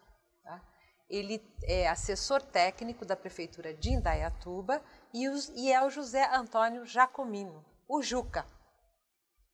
Boa tarde. Boa tarde. Boa tarde a todos os meus companheiros de curso. Em especial, um boa tarde para a turma de Campinas Oeste, que fica em Valinhos, ao docente é, Juarez, ao é, representante do Tribunal de Conta, Adilson, e para mim é um orgulho e uma honra estar aqui e, ao mesmo tempo, uma responsabilidade muito grande. Primeiro, pelos, pelas pessoas que me antecederam. E segundo, porque cada vez que eu participo do curso, eu vejo alguns dos meus colegas com alto nível de conhecimento que acho até que deveriam estar aqui no meu lugar. Mas eu não sei por que me convidaram. E eu estou aqui para tentar falar alguma coisa sobre a LDO. Ok. Eu vou então começar. Marcos, você me permite? Vou começar claro. a perguntar. Juca, como era antes da LDO e no que a LDO contribui para o planejamento orçamentário? Nossa Senhora, antes, eu não sei nem se eu posso falar que existia planejamento. E isso é facilmente explicável, não é crítica a ninguém, mas nós vivemos num tumulto de inflação que a gente não conseguia nem avaliar qual era a inflação que ia conseguir ia realizar no mês seguinte, ou no próprio mês, no final do mês. Então imaginem lá atrás, antes da Constituição de 88, aonde não se previa o PPA, o máximo que se previa na lei 4.320 era o PPI de investimento, que eu nem sei como é que era feito, e só tinha lei orçamentária. Então, aquilo impossibilitava. A gente não conseguia fazer um planejamento do salário da gente. Imagine fazer o um planejamento onde envolvesse recursos financeiros de um município, de um estado e da União. Isso era muito complicado. Com a Constituição de 88, não foi bem a LDO que melhorou. A LDO veio dar sustentação a um planejamento bom. Por quê? Junto com o PPA, a LDO mas o que está levando ao sucesso do planejamento, o que a gente tem que lutar para cada vez mais planejar, é a contenção da inflação. A hora que nós soubermos quanto nós vamos arrecadar, quanto nós vamos ter que ter de despesa, isso, isso facilita a gente ver lá o futuro. Ainda não está fácil, né? mas existia caso antigamente de que eu liguei para um contador de uma cidade e falei assim: preciso conversar com você amanhã. Ele falou assim: impossível. Amanhã, depois do almoço, eu vou sentar no computador. Já tinha computador, né? Eu vou sentar no computador e vou fazer o orçamento da prefeitura, não é nem do município. Mas como? Ele falou: ah, eu duas horas eu faço um orçamento. Então dá para imaginar que peça de planejamento era aquela, que se começava pelas despesas e acabava pelas receitas. Ou seja, você avaliava as despesas que não ia dar certo por causa da inflação, e depois, se não desse certo, não coubesse as despesas, ele acrescentava algumas receitas que ele também não sabia como fazia. E assim ia, e assim começava. E assim, muitos dos municípios se desgovernaram, entre outros fatores, esse, a falta de planejamento levou a que municípios ficassem endividados, tivessem eh, muitos restos a pagar sem cobertura financeira, e que custou muito caro para todos nós, né, como cidadãos, ajeitar essa situação. Acredito que a grande maioria ajeitou. Aí veio, então, a Constituição, veio a instituição do PPA, que nós já estudamos, veio a LDO e a LOA, que já existia, que todos nós sabemos já que falta ainda uma padronização, uma lei complementar, que é aonde vai afinar esse planejamento. Falar em planejamento hoje ainda é muito discutível, há muitas dúvidas, há muitos entendimentos diversos para uma mesma coisa, mas uma coisa é certa: nós evoluímos. E o que nos anima é que todos nós devemos pensar em evoluir. Então, é, hoje nós estamos vivendo uma situação muito melhor em termos de planejamento do que se vivia antes. A LDO veio ajudar na Constituição. Não bastando isto, quando a lei de responsabilidade veio, aí a coisa então complicou bastante ou estão nos ensinando a planejar para conter todas as variáveis fiscais, que o Marco já é, muito bem explanou desde o começo desta tarde e que deixou até um pouco eu sem ação, porque tudo que eu pretendia falar ele já falou, seria repetitivo. Né? Esses são os companheiros que a gente tem aqui e que ajudam a gente a desenvolver um assunto. Mas na LRF existe 17 citações de, da, da LDO e que a gente, algumas, a gente nem observa, mas outras são muito importantes. Né? Um companheiro nosso aí de uma cidade que, me desculpe, eu não me lembro, falou que nós estamos repetindo a Constituição. Não, pode ser que em alguns casos, mas regra para transferir valores, é, transferências voluntárias, isso é definido pelo município. Né? O município pode colocar lá, só vou transferir para assistência social aquele que tiver cadastro no, no, no conselho, no CMD, ah, no Conselho Municipal de Assistência Social. Ele pode pôr outras regras que é próprio de cada município. Ele pode ser mais austero ou menos austero. Então, todo esse conjunto está nos levando que a gente aprenda.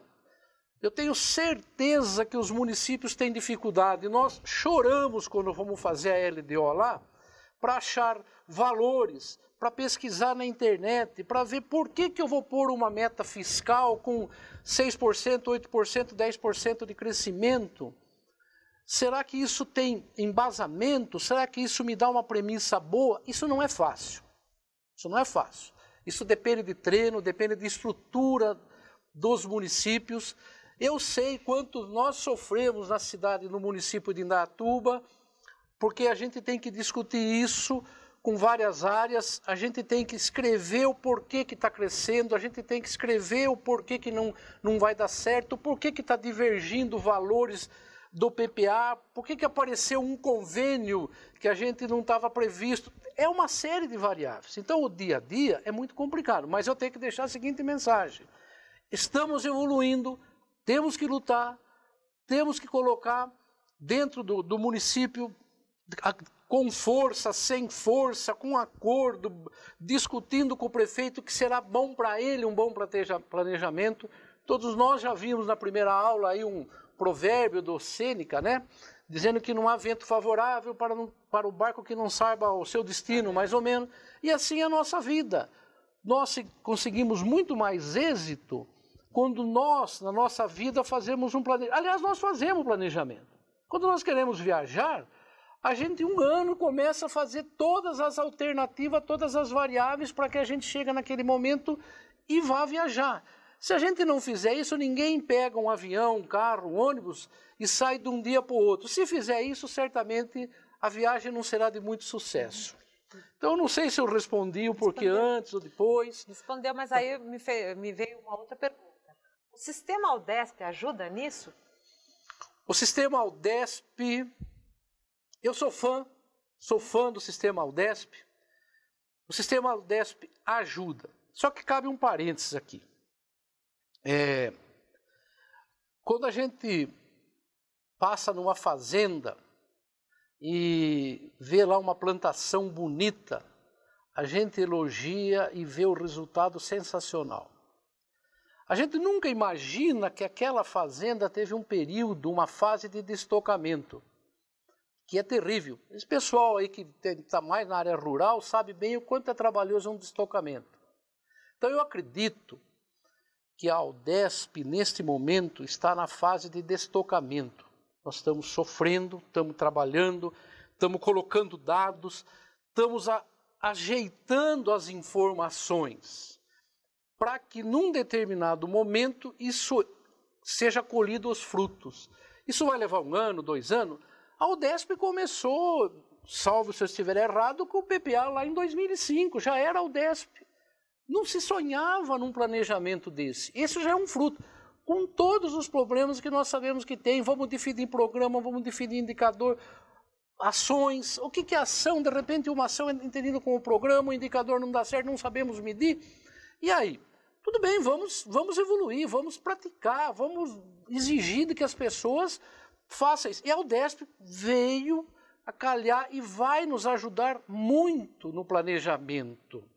Nós não podemos prescindir do, da UDESP, eu sei que tem muita polêmica a UDESP, porque está neste momento, mas tudo evolui.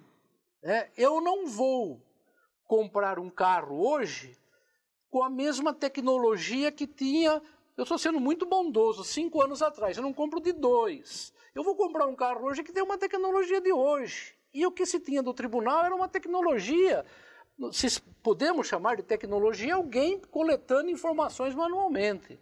O mundo não aceita mais isso. O mundo tem que coletar informações quanto mais padronizada, com parâmetros definidos, é óbvio que eu não sei o que, que se vai avaliar na UDESP lá no futuro. O tribunal não vai dizer para nós.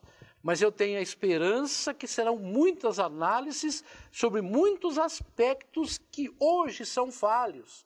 E só a informática daria esse problema. Eu só vou dizer um negócio.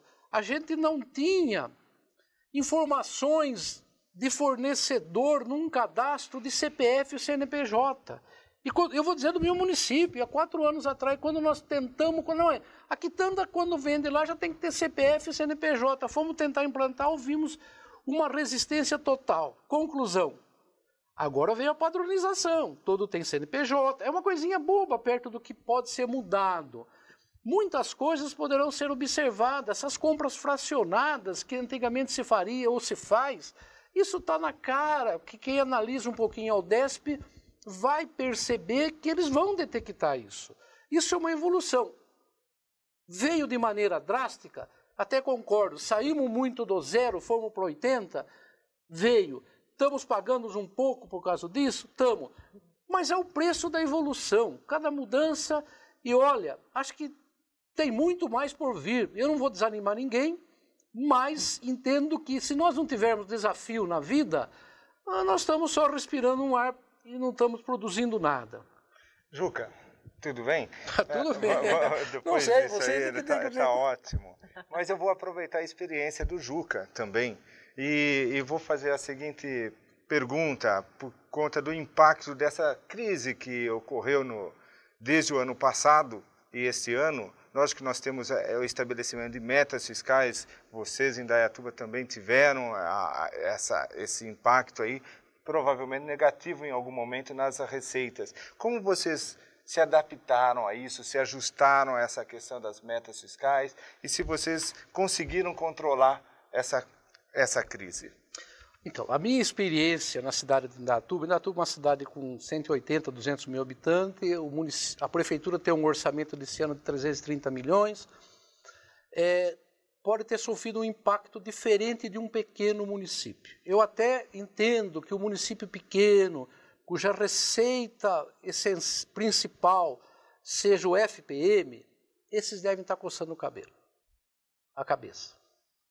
Agora, o município que tem alternativas de rendas outras, que o FPM não tem uma participação em percentual muito grande, aí vai da qualidade do, do planejamento e do orçamento. Se esse orçamento foi feito de maneira cautelosa, de uma maneira conservadora, cuja evolução está, está sentada em cima de relatórios do Banco Central, que está vivendo, que aproveitou um pouquinho do final do ano passado em que a receita estava alta e fez uma reservazinha para esse ano. A gente tem que ter. Ah, não pode fazer? Eu não sei se pode, se não pode. A realidade está aí, vamos nos precaver. Nós não fazemos isso na vida.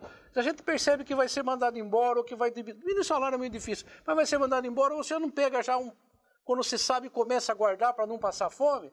Então nós tentamos fazer isso. O nosso impacto no orçamento de Indatuba, felizmente, é, nós superamos, vamos fechar o ano bem, estamos pagando todo mundo, o FPM veio bem a menos do que se veio. O governo federal tentou dar uma ajuda para esses pequenos municípios, que é a medida provisória 462, um auxílio financeiro, que deve aliviar. Mas os pequenos municípios também têm que sentir o seguinte, isso nada é 100% ruim na vida. Isso deve ter alertado o município que ele tem que achar outra fonte de recurso. Os caras estão olhando para mim aqui e estão falando: esse cara é louco. Não, quanta evasão de PTU que se deixou de cobrar. Né? É, quantas, é, agora que tem convênios com o ITR, é, será que não é a hora de esquematizar e forçar? Porque se é um município pequeno que está numa zona rural, ele tem, ele tem o ITR que pode ser uma salvação deles, com convênio com a Receita Federal. Então, isso deve despertar nas pessoas. Agora, isso provoca mudanças, e mudanças é duro. Né? Mudanças quando a gente chega em casa e vê um quadro mudado de parede, a gente já dá bronca na esposa, e depois houve também o que não quer. Mas então, toda e qualquer mudança é duro. A gente, como servidor público, nós temos que estar vivo, nós temos que estar atento, nós temos que discutir. É óbvio que o chefe do Poder Executivo é o que determina tudo. Eu não estou vendendo ilusão, eu sei que dificuldades de prefeito, eu sei que dificuldades de secretário, eu sei que mudança de, de mandato, isso quebra, secciona as coisas que podem estar programadas. Tudo isso é difícil. Nós não podemos se esmorecer. Em Datuba, também nós sofremos, né? nós, nós brigamos com o secretário, falamos, expusemos. Hoje tá, passamos uma fase virão outras que a gente tem que superar. Era isso? Era isso. É... Eu tenho mais uma perguntinha, e enquanto isso o pessoal também se prepara para fazer interação conosco, né? Hum. Para aproveitar aqui a experiência do Juca. Na verdade, a minha pergunta, Juca, agora eu vou mudar um pouquinho o rumo que ela estava indo, mas eu quero falar um pouco do gestor. Eu sei que a sua experiência é, é, da área financeira, né? Então, portanto, é muito próxima toda a questão do contador, todas essas exigências do contador. Mas fala um pouquinho até. Só que a minha ligação está mais próxima com o gestor. Então, eu queria puxar um pouquinho para esse lado. Fala ah, um né, vamos, da vamos falar dele. do gestor, mas eu vou dar uma palavra de tranquilidade para os contadores, que é da nossa área. Eu sei que nos pequenos municípios acaba caindo no, na mão, nas mãos do, do contador o planejamento. Com relação ao DESP, o contador deve estar bravo hoje, deve estar irritado. Se eu falar que a Udesp vai salvar a vida deles, eles vão capaz de me linchar lá em Datuba. Se eu falar que a Udesp não é bom, também é capaz do tribunal pôr um X em Datuba. A hora que nós atingirmos um estágio mais avançado, o contador vai ter muito mais segurança. Ele vai ter informação mais correta. Está aí para entrar o ano que vem, me parece que é uma lei complementar 131. A hora que estiver emitindo o empenho, já está à disposição lá do, do, do, da comunidade, da sociedade, a emissão em tempo real. Então, o contador vai ser obrigado a assinar um balanço que ele acha que é real. Ele vai ter informações de almoxarifado, de patrimônio. Se eu falar uma coisa, lógico que eu não posso provar, mas eu acho que tem muitos contadores assinando balanços irreais. Ele não sabe, ninguém dá informação para ele se o almoxarifado está correto, ele não exige. Ninguém dá informação. Eu tenho certeza que o patrimônio não está avaliado de acordo e ele está dizendo que aquilo representa a verdade. Ele está colocando a carteirinha do CRC dele embaixo de uma guilhotina. Nunca ninguém se importou, mas vai começar a se importar, até porque o STN tem uma política é, contábil de dar enfoque muito forte ao patrimônio público. Né? Agora, no planejamento, o gestor é a peça importante. É ele que sabe aonde, ele junto, obviamente, com do gestor maior, que é o prefeito, né? Ele sabe o que é interessante para ele, ele sabe quanto ele pode atingir de meta, quanto ele pode gastar. É lógico que eu não estou vendendo ilusão de tudo que ele precisa de dinheiro vai chegar. A gente sempre tem mais é, necessidades, como ele falou, infindáveis, do que dinheiro, do que recursos financeiros. Mas não existe planejamento se o gestor não tiver ao lado. Uma cidade de 5 mil habitantes, o contador está lá, ele chama o diretor, o secretário, o responsável pela saúde do lado dele e fala: o que, que o senhor quer para a saúde? O senhor tem tanto, sua folha é tanto, o que, que o senhor quer fazer? Ele vai dizer, do mesmo jeito que a educação, que assistente social, esporte. O contador, ele é um sintetizador, um consolidador das vontades das áreas, respeitado, respeitado as condições financeiras. E, obviamente, respeitada a vontade do prefeito, em que o gestor deve estar ligado e falando a linguagem do prefeito. Não dá para se fazer planejamento se não tiver gestor. Nós tivemos brigas homéricas e ainda certamente teremos pela frente em Datuba. Há quatro anos atrás, cinco anos, nós colocamos que todas as secretarias deviam sentar com a gente para dizer Primeiro porque a gente não hoje nós sabemos um pouco de planejamento. A gente não sabia nada do que era programa, do que era ação, indicador, e cada um fez uns negócios lá. Enfim, nós evoluímos. Mas eles sentaram junto. A saúde falou assim: eu quero uma verba para aquisição de medicamento. A educação falou: eu quero construir tanto de escola. Vamos ver se cabe o dinheiro. Afina aqui, afina ali. E ele depois passa a gerir aquele orçamento. Fica muito mais fácil. Se nós tivéssemos que fazer a gestão do planejamento na nossa central, nossa, nós ficaríamos loucos. Perfeito.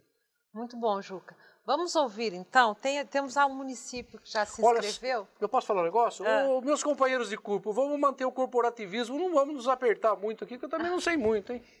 Mas vamos ouvir o pessoal de, do Jacareí, que quer falar conosco, já se inscreveu. Então vamos ouvir Jacareí. Pode falar. Estamos ouvindo. Boa tarde, Juca cumprimentá-lo primeiramente aí em nome de todos os contadores pela sua brilhante e resumida apresentação no sentido das mazelas que temos vivido na contabilidade pública e a evolução, a grande evolução que o projeto Aldesp nos permite. Espero que com o seu apoio, com a sua determinação, se torne um exemplo para os gestores que estão nos ouvindo nesse momento e é com muita satisfação que podemos compartilhar desse ambiente que alcança a todos. E com isso, de fato, fazer mudança no nosso, na nossa profissão, no nosso país, no nosso estado. E é uma pessoa como você que é capaz de, de motivar. E fico honrado por poder ter ouvido e só tenho a concluir que realmente as dificuldades existem, mas que nós estamos aí para superá-las. Muito obrigado pela atenção. Um abraço a todos. Ah, retoma. Nós estamos aqui em Jacareí. Meu nome é Alexandre de Pietra, ah. representando Jacareí com as cidades de Guarulhos, Guararema, Santa Isabel e Igaratá. Passo a palavra. Eu tive um curso com ele terça-feira passada. O quê? Tá Pode você. responder? Pode. Ô, Di Pietra, elogio de amigo não vale. Vou aceitar educadamente, mas não é dessa maneira. Você é uma pessoa que nós tivemos um curso de impacto orçamentário, é, foi muito importante. Eu acho que também faz parte do gestor e do contador procurar cursos não ficar esperando só um treinamento. Existem várias empresas que fazem curso, existe o Tribunal de Conta que oferece outros cursos. E só dessa maneira nós vamos superar essa dificuldade. Mas, Pietra, como você só fez com ótimas considerações pelas minhas palavras, muito obrigado. Acabo de ter o prazer de revê-lo. Né? depois do curso eu não sabia mais se ia revê-lo tão próximo. Muito obrigado, viu? Uh, eu gostaria de fazer uma pergunta para você sobre que, que foi perguntado por, por Maraca, é, Miracatu. Hum, Lembra? Lembro. Miracatu? Miracatu fez uma pergunta e eu gostaria de saber, você, enquanto contador, qual seria a sua postura numa situação como aquela que foi Olha, relatada? eu só vou fazer uma, cor, uma correçãozinha. Eu sou da área contábil, mas não exerço a função de contador eu exerço mais de planejamento, embora ah, na prefeitura nós falar em integração, eu e o contador lá e a nossa turminha, nós somos muito integrados. Às vezes ele nos ouve, uhum, às vezes tá. eu ouço ele e tal. O contador, eu não exerço essa função hoje. Mas com relação ao convênio, a gente percebe o seguinte, que o planejamento que nós falhamos não é privilégio, entre aspas, nosso dos municípios. Eu tenho um caso para contar de Indaiatuba, no dia 30 de dezembro, É, o secretário me chamou, me chamou lá a pessoa que cuidava de convênio, falando assim, Juca, como é que nós vamos fazer? São 12 horas, chegou aqui um e-mail da Caixa para a gente comparecer às 11, quer dizer, nós já estava uma hora atrasado para ir à Caixa, e ele quer uma declaração da contrapartida que existe é, no planejamento, no orçamento, existe dinheiro para contrapartida. Eu falei, não tem. Isso aí não está previsto, ninguém sabia. Está previsto. Como é que nós vamos fazer? Como é que nós vamos fazer? Uma declaração nos comprometendo a comprometimento do ano seguinte. Fizemos isso. Resultado: perdemos o convênio. Porque alguém que leu lá, ele tá. Não, eu vou entrar num assunto aqui que às vezes a pessoa só lê porque aprendeu a ler na escola o ABCD, mas não sabe interpretar. Eu discuti com essa pessoa, não tivemos êxito, porque eu disse para ele: Isso aqui vai ser executado ano que vem. O que, que adianta eu ter no orçamento deste ano? O ano que vem está aqui um compromisso, é o prefeito que assinou, não é um Zé Ninguém que assinou. E não conseguimos convencer e perdemos. Por outro lado, também tem outra experiência. Isso foi no dia 30 de dezembro, onde não havia mais condições. Chegou um, um, um convênio, não estava, não estava previsto também no planejamento. E o que, que nós fizemos? Ah, o prefeito quer que? Vamos sentar aqui. Vamos fazer essas mudanças no PPA da Loa. Fizemos a mudança em três horas, foi feito um projeto de lei mudando lá na, enviando para a Câmara, a Câmara aprovou em caráter de urgência, 48 horas depois estava pronto a inclusão. E audiência pública?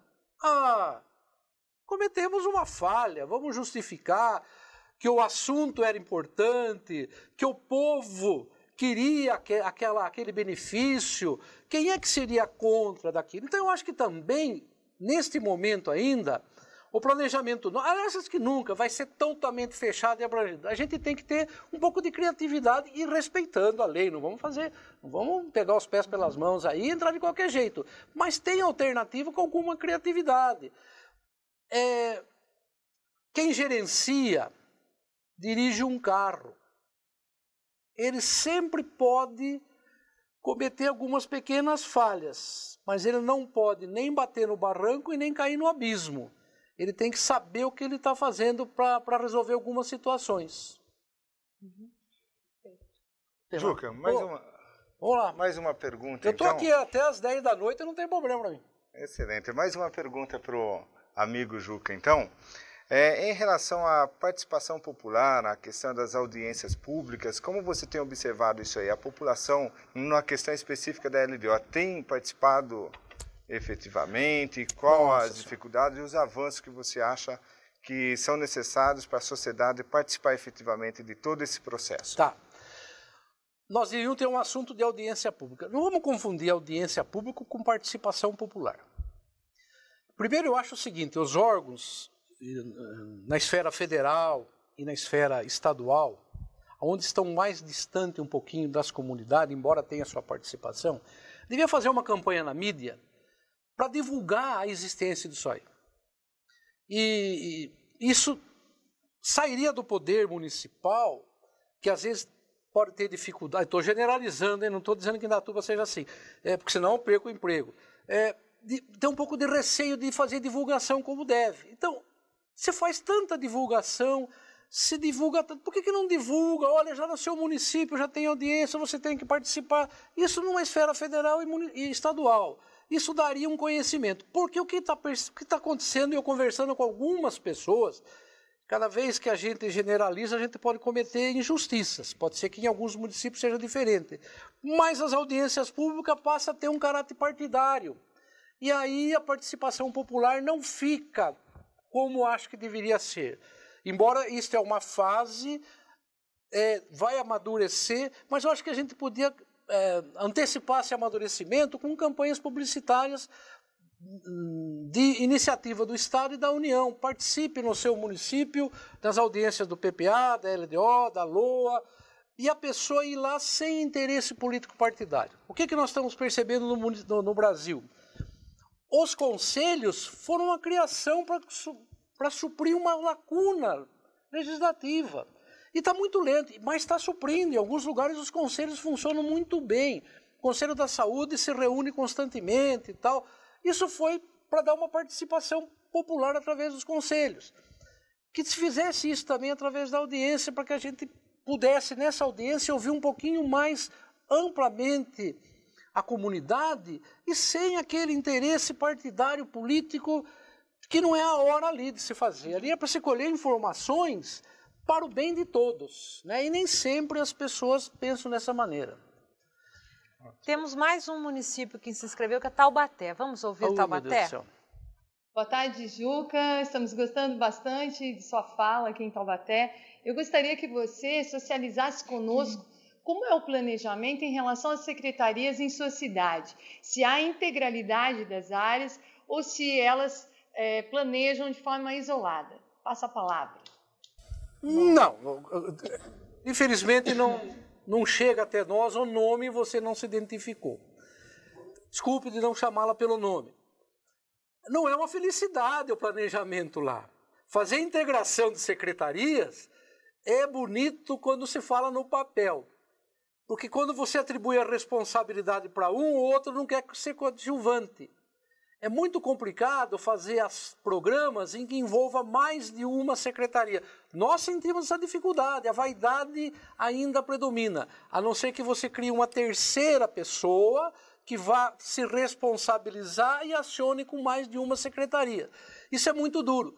Pode ser, depende do, do meu modo de ver, depende da atuação do prefeito, depende da participação e depende um pouco da humildade em servir a comunidade sem estar preocupado em status. Mas não é fácil, viu, companheira? É muito difícil. Então, nós lá é, temos, em algumas secretarias, sucesso de planejamento. Em algumas, capenga. Por quê? Na época, o secretário não deu valor, isso é só papel, não vai funcionar, o funcionário não quer saber, a gente fala, ah, então é mais importante isso, isso, isso, nada, nada, nada, depois planejamento. Isso nós sentimos. Mas nós temos que evoluir, uma hora ou outra vai dar certo.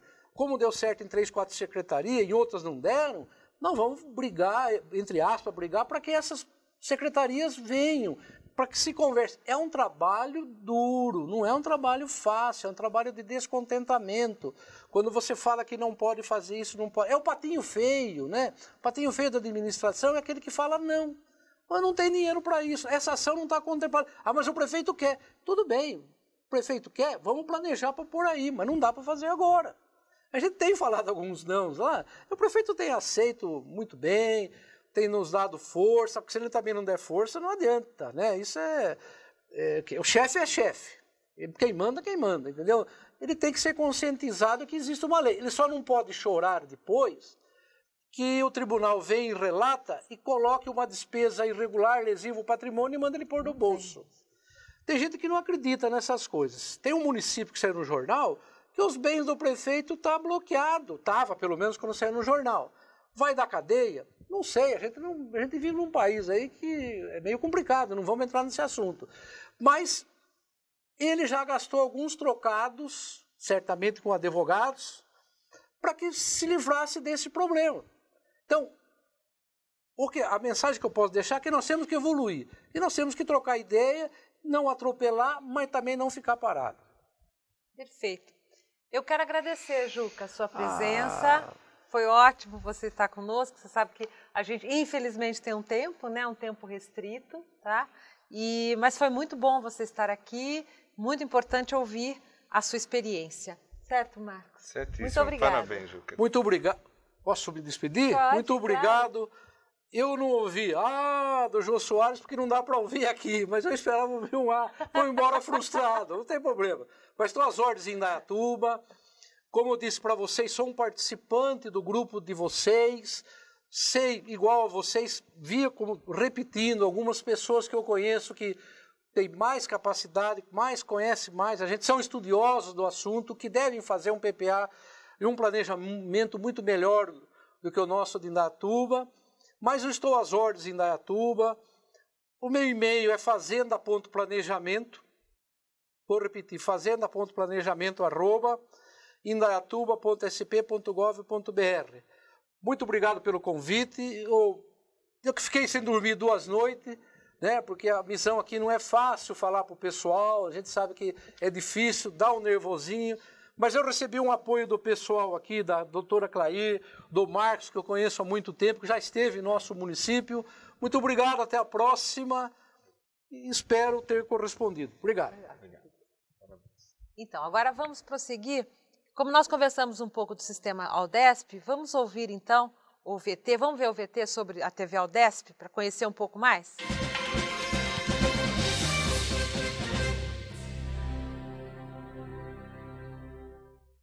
Padronização que o projeto Aldesp idealizou, vai ser possível a gente avaliar a compatibilidade entre as peças de planejamento, entre o PPA, entre a Lei de Diretriz Orçamentária e entre a Lei Orçamentária Anual.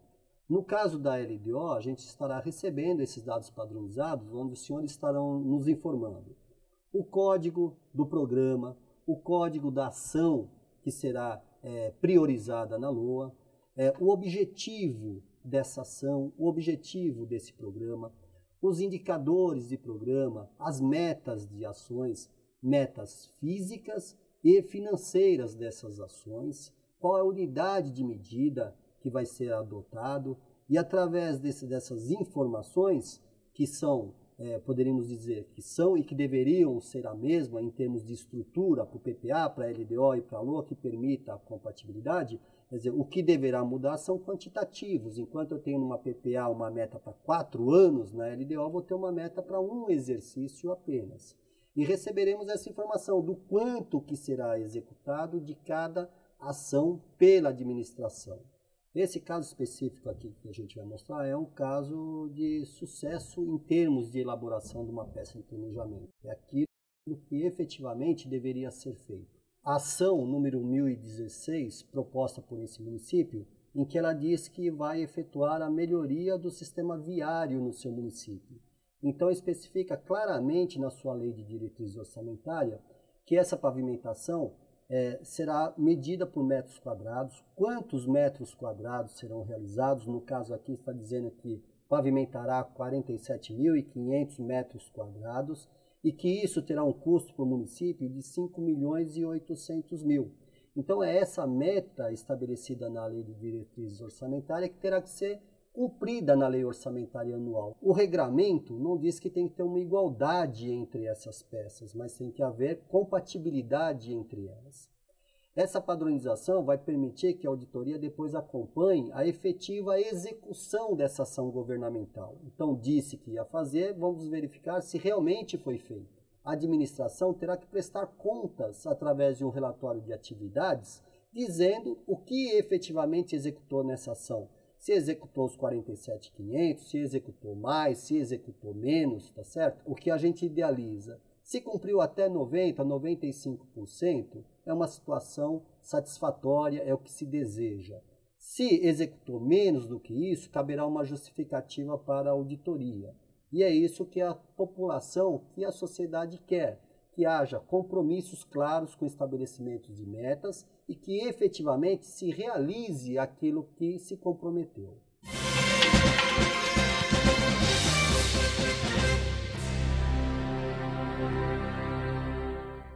Muito bem, vocês ouviram o Maurício acabando de comentar a atuação do Tribunal de Contas em relação a, a, a, essa nova sistemática que vem sendo implementada e melhorada em termos de qualidade na gestão pública. E notamos uma preocupação nova. Depois de tudo isso aí, o Maurício menciona, começa a, o momento de avaliar o cumprimento dessas metas.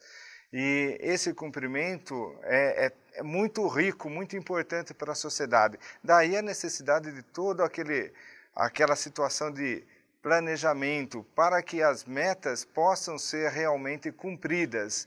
É, evidentemente, não é uma, uma maneira de penalizar o, o gestor público ao não atingimento das metas, mas se quer uma explicação, vamos pensar como cidadão também, e não apenas Além de gestor, nós também somos cidadãos no município. Então, o Tribunal de Contas, ao nosso ver, como técnico da administração, vem contribuindo muito para o aprimoramento da gestão orçamentária.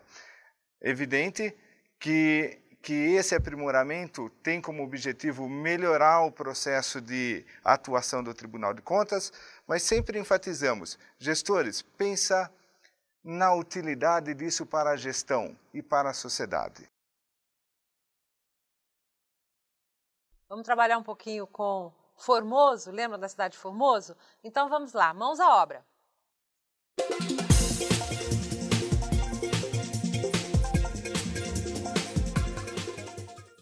Antes de comentar com vocês a próxima atividade, eu vou pedir, vou dar dois lembretes.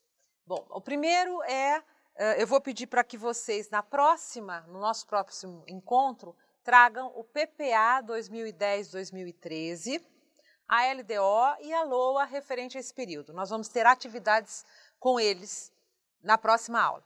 Isso é muito interessante porque vocês podem perceber que nós estamos trabalhando tanto com os PPAs, LDO e agora a LOA também de vocês nos próprios municípios, é um momento interessante de discussão, inclusive em grupo, não é? Que é uma oportunidade muito preciosa, mas também nós estamos montando o planejamento do município de Formoso. Então, o professor Áquilas, na aula passada, pediu para que vocês trouxessem o PPA, lembra-se daqueles dois programas de Bem com a Vida, Escalada de Futuro, que vocês trabalharam?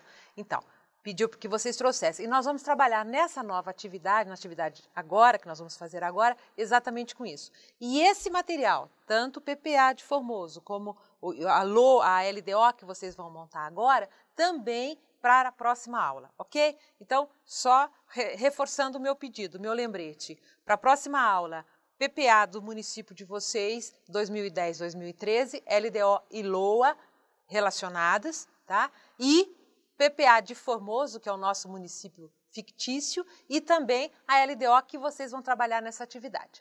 Então, a atividade agora que nós vamos passar para vocês é exatamente essa: é montar uma LDO da, do município de Formoso a partir daqueles dois programas que foram selecionados na, na aula na aula 5. Lembram-se que nós montamos também do município de Formoso, ok? Ah, essa atividade terá 35 minutos e mais 10 minutos para discutir em grupo e quando então nós retornaremos. Então, bom trabalho para vocês.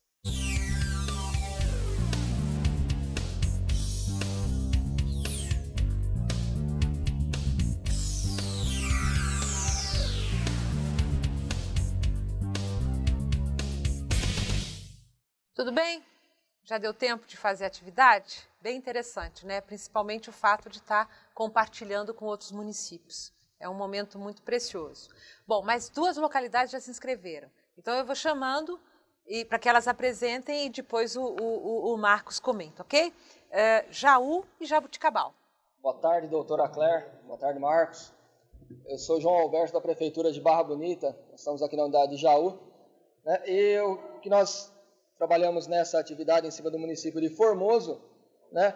Nós temos aí é, a função, no caso, é, educação sob função ensino fundamental e o programa Escalada para o Futuro. Né? A, a nossa ação é ampliar o número de salas de aula e o objetivo suprir a carência de 200 vagas no ensino fundamental 2. A justificativa é, para esse objetivo é cumprir o disposto da Constituição Federal, garantindo o acesso ao ensino fundamental a todos. Né? O órgão responsável é a Secretaria Municipal de Educação. É, dentro das metas, as metas físicas seria a ampliação é, de 100%, seria o total de 5 salas de aula e 200 vagas. Né? Os indicadores, é, a população atendida, também é, em 100%. O resultado atual hoje seria zero, que tem, é, são 200 vagas que tem, tem para ser preenchidas, né? então, portanto, é zero. E o resultado futuro são as 200 vagas. Tá? É, nas metas financeiras ficou uma dúvida para o nosso grupo, né? mas o que a gente tinha colocado seria o valor necessário para o cumprimento da ação. É, no outro programa, no programa de Bem com a Vida, é, a função assistência social, a subfunção assistência comunitária. É, no programa de Bem com a Vida, né, a ação nossa seria disponibilizar meios para sociabilizar jovens e interação com a sociedade. E o objetivo é a diminuição do consumo de álcool e drogas ilícitas entre os jovens e o índice de furto, é, justificando o objetivo a diminuição de jovens em situação de risco e o órgão responsável para essa ação seria a Secretaria Municipal de Assistência Social. Dentro das metas, é, seria o atendimento a 2 mil jovens por mês, seria é, a unidade de medida aí 100%, atingindo em 2010 o total de 2 mil jovens por mês.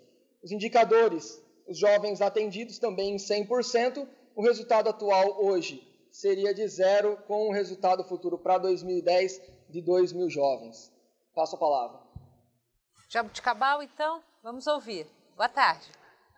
Boa tarde. É... Meu nome é Edson Walter Gazotti. A minha função sou contador e a cidade é de Bebedouro. É... Nós chegamos com o, o nosso grupo, né, após o debate, chegamos à conclusão que a função seria 12, educação, subfunção 361, ensino fundamental, programa 2001, escalada para o futuro, ação 1005, construção de uma nova escola. Objetivo: suprir carência de vagas no ensino fundamental 1. Justificativa: porque atualmente no município de Formoso 500 alunos da rede fundamental estão fora da escola. Órgão responsável: Secretaria da Educação. Metas físicas: ampliar o número de vagas. Para 2010, crescimento de 6%. Indicadores: percentual de alunos na escola. Resultado atual: 94%. Resultado futuro: 100%. Metas financeiras, valor total para 2010, 450 mil reais. Agora eu passo a palavra à colega Sandra, que vai falar sobre de bem com a, com a vida. Eu sou diretora da Prefeitura de Itaiúva, meu nome é Sandra e nós chegamos à conclusão que a função 08, assistência social, subfunção 244, assistência comunitária, Programa 0012 de Bem com a Vida, Ação 2002, Implementação das atividades educacionais e culturais e o objetivo possibilitar o acesso direto dos jovens nas escolas municipais em finais de semana e em casas municipais. A justificativa: grande parte do número de jovens não tem acesso às atividades educacionais e culturais Sendo assim, todos esses jovens vão poder é, ter uma inclusão social melhor. As metas físicas: ampliar as atividades educacionais e culturais para 2010 em 50%. Os indicadores: número de jovens assistidos, o resultado atual 25%, resultado futuro 50%, o valor financeiro total para 2010, 100 mil reais. Passa a palavra. Perfeito. Nós temos mais dois municípios inscritos, Penápolis e São Vicente. Então vamos ouvir os municípios e na sequência o Marcos comenta. Penápolis então. As ações aqui, a primeira, né? Escolhemos é, do programa Escalada para o Futuro, né? A função 12, educação, subfunção 361, né, ensino fundamental, é, ação 1001, né, ampliar o número de vagas para ensino fundamental. É, objetivo, reduzir a carência de vagas do ensino fundamental no município. Justificativa, garantir os direitos básicos né, da educação. Órgão, é, colocamos aqui 021000, Secretaria da Educação. É como é, essa ação, né, visamos em específico a, a, construção das cinco salas, né, e não da escola, do novo prédio. Né.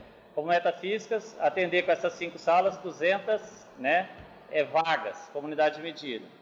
E indicador, né, número de alunos atendidos, né, unidade de medida alunos. Entendemos que, é, pelas contas, elas atendia 2.100, passaria a atender 2.300. Né. É, único comentário é que esse indicador, né, presente aqui nesse formulário, no formulário do Aldesp ele não existe, né? Ele só está na, na parte, é, no formulário dos programas, né? Então é só um comentário. É, como outra ação, colocamos do, do programa de Bem com a Vida, função 08, assistência social. Colocamos como subfunção 243, assistência à criança, criança e adolescente.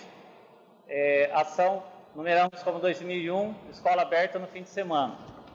O objetivo seria abrir a escola no final de semana para a realização né, de oficinas, projetos culturais que promovam a saúde, a educação, a lazer para os jovens. Como justificativa principal seria a retirada dos jovens das ruas, né? levar para as escolas, criar uma atividade.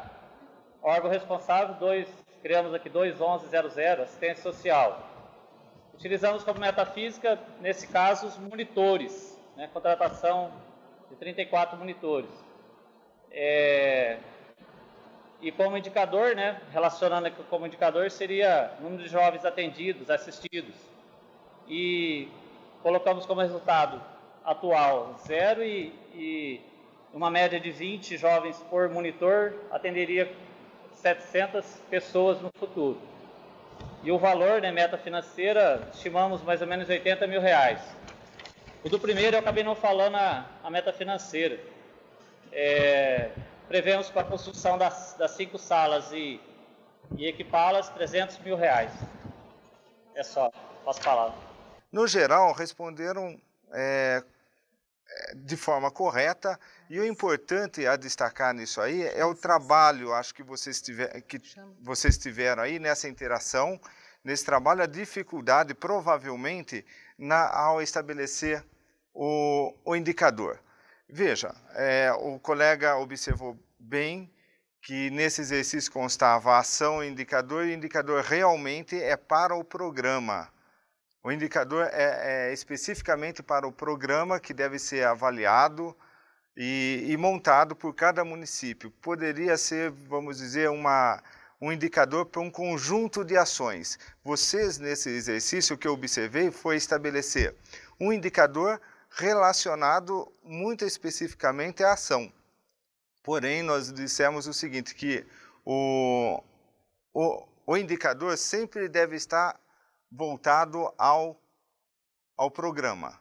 Então, o programa que é um conjunto de ações. Mas para esse exercício, de forma até, vamos dizer, simplificada, vocês eh, atenderam satisfatoriamente né, essa questão do, do exercício prático, mas aquela observação a dificuldade nos indicadores. E muitos de vocês constaram o seguinte, a projeção para o futuro, a meta, o resultado futuro do produto a ser alcançado. E para isso, é lógico que se trata de um exercício hipotético, mas no dia a dia, o que precisa ter um banco de dados o município para saber de onde eu estou saindo para onde eu quero chegar. E o indicador tem a sua importância, nos demais os objetivos foram, foram realizados, e o que se observa é que, sem o trabalho em conjunto dos gestores, principalmente nesse momento, que não é tarefa fácil mesmo, não é tarefa para o, específica para o contador, como é, foi dito já na exposição hoje, é uma tarefa para o contabilista de fazer a consolidação, de fazer a formatação de acordo com o que o sistema necessita, mas a formulação das políticas, as metas, os indicadores, caberão aos gestores. Perfeito, okay, Marcos. Vamos ouvir agora São Vicente. Boa tarde, eu sou a Carla, economista e responsável pelo Departamento de Orçamento e Controle de Custo da Praia Grande. Bom, a nossa atividade não ficou diferente dos demais colegas, tá? Na primeira, ficou a, a função 12, Educação, subfunção 361, Ensino Fundamental, programa Escalada para o Futuro, ação seria um projeto, construção de salas de aula do ensino fundamental, objetivo, aumentar o número de vagas, justificativa, carência de vagas, órgão responsável, Secretaria de Educação. Metafísica, 5, é, metas para 2010, 100%. Uh, metas financeiras, 100 mil reais, e, 10, e para 2010 100 mil reais também. Já nas, na, na segunda atividade, colocamos a funcional 8, assistência social, 244, assistência comunitária, programa 002 de bem-estar com a vida, construção de centro de acompanhamento seria o nosso projeto para acompanhar a ação, objetivo, acompanhamento e, e orientação juvenil, justificativa, combate à marginalidade, órgão responsável, Secretaria de Promoção Social, nossa meta física, a construção de um centro para 2010, 100%. Meta financeira, 100 mil reais. Para 2010, 100 mil reais. Passo a palavra. Muito bem. Vocês notaram que, que nessas exposições nós estamos pensando LDO, meta para um exercício, 2010. É o propósito da, da LDO. Outra observação que eu, que eu tenho a, a fazer nessas nessa colocação aí da colega de Praia Grande é em relação a, a um indicador, a uma meta, que ela disse 5, depois chega a 100%, então é importante ser coerente essa, essa meta, indicador atual, quanto é, e se falar em porcentagem, é importante ter, ter sempre clareza, é, porcentagem sobre o que nós pretendemos a, aumentar ou diminuir. E isso é um erro comum que nós temos observado no dia a dia, essa, essa questão de não conexão, assim, indicador recente com indicação, indicador ou meta futura, que é o produto. E mais um, um detalhe, só para ilustrar, o nome do programa. Todos vocês utilizaram o nome do programa dado já pelo exercício. Uhum. É, entretanto, no dia a dia, cada município estabelecerá os, o nome do Não. programa, os objetivos, e as justificativas é, peculiares. Então, o nome do programa, é, nesse exemplo, nesse exemplo, escalando, escala, escalada para escalada o futuro. para o futuro, muito bem. Isso. Escalada para o futuro, uhum. o que acontece? Vocês podem notar que tem uma compatibilidade com o PPA. Por isso que foi importante utilizarmos o exercício da aula 5, que era do PPA, para vocês observarem que há uma uma conexão entre eles. Então, o mesmo nome de programa utilizado lá no, na atividade 5 passou a ser utilizado agora na LDO. No restante, é satisfatório. Perfeito. Então, uh, terminada os comentários sobre a nossa atividade, vamos passar para o nosso Saiba Mais, onde eu tive a oportunidade, o prazer de entrevistar o professor Polo. Vamos ouvir um pouquinho? Saiba Mais.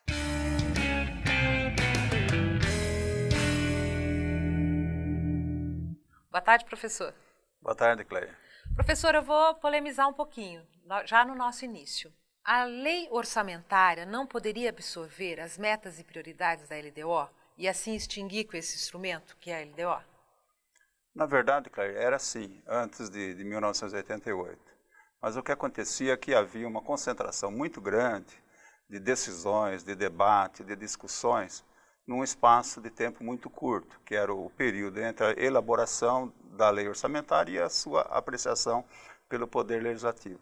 Então, com a LDO, estabelecendo as metas e prioridades, houve uma antecipação eh, dessa preocupação, desse debate, dessas discussões, ou seja, mais tempo para cuidar de, dessas questões. Eu acho que isso foi muito positivo.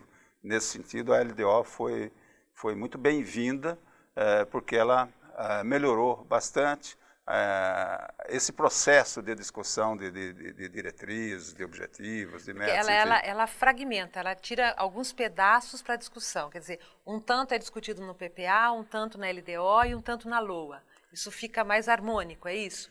Até para auxiliar as pessoas? Exatamente, é um sistema, um sistema constituído desses três instrumentos. E a LDO, a função básica, a função mais importante dela é justamente isso, é retirar do plano plurianual, que já está aprovado, quais são as metas e prioridades para o exercício seguinte. Com isso definido, é, de forma antecipada, quando se vai montar a lei orçamentária, o, o, trabalho já, vai, já estará facilitado, porque muitas das decisões já foram uhum. tomadas antecipadamente. E, na sua opinião, decorridos cerca de 20 anos né, da Constituição de 88, uh, tem algum aprimoramento na LDO que seria muito importante ocorrer? Olha, ela tem uma função bem, bem específica, bem objetiva, a LDO. Isso na sua concepção original, estabelecida na Constituição. Ela recebeu outras incumbências por parte da lei de responsabilidade fiscal. Mas eu acredito que ela, ela deva ser, ser mantida, como, como a gente já disse, e a questão do aprimoramento, na verdade, é, se resume na regulamentação, aquela regulamentação que está faltando por parte da, do Congresso Nacional. Eu acho que assim que essa regulamentação estiver aprovada, estabelecida, ela vai desempenhar um papel importante, como ela já desempenha hoje dentro desse sistema. Muito obrigada. Até a próxima.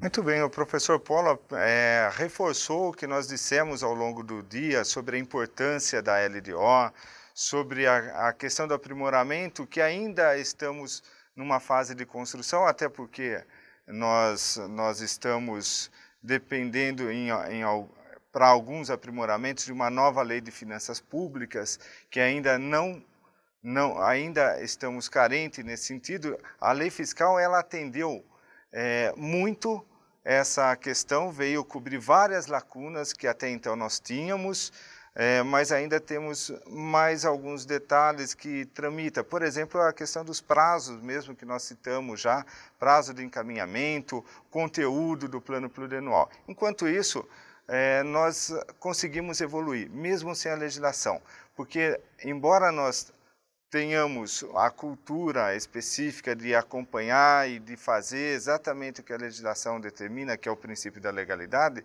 mas numa questão de gestão nós temos também que temos ter a iniciativa, assim como os órgãos de fiscalização tiveram com os municípios, essa importante iniciativa de tentar padronizar, uniformizar os procedimentos, que venha com toda certeza favorecer a boa gestão na administração pública. Tudo bem, Clay? É, eu, já que eu tenho algum tempo disponível, que foi me passado aqui, eu, eu gostaria apenas de, de, responder um colega de Miracatu, é isso? Questão dos convênios.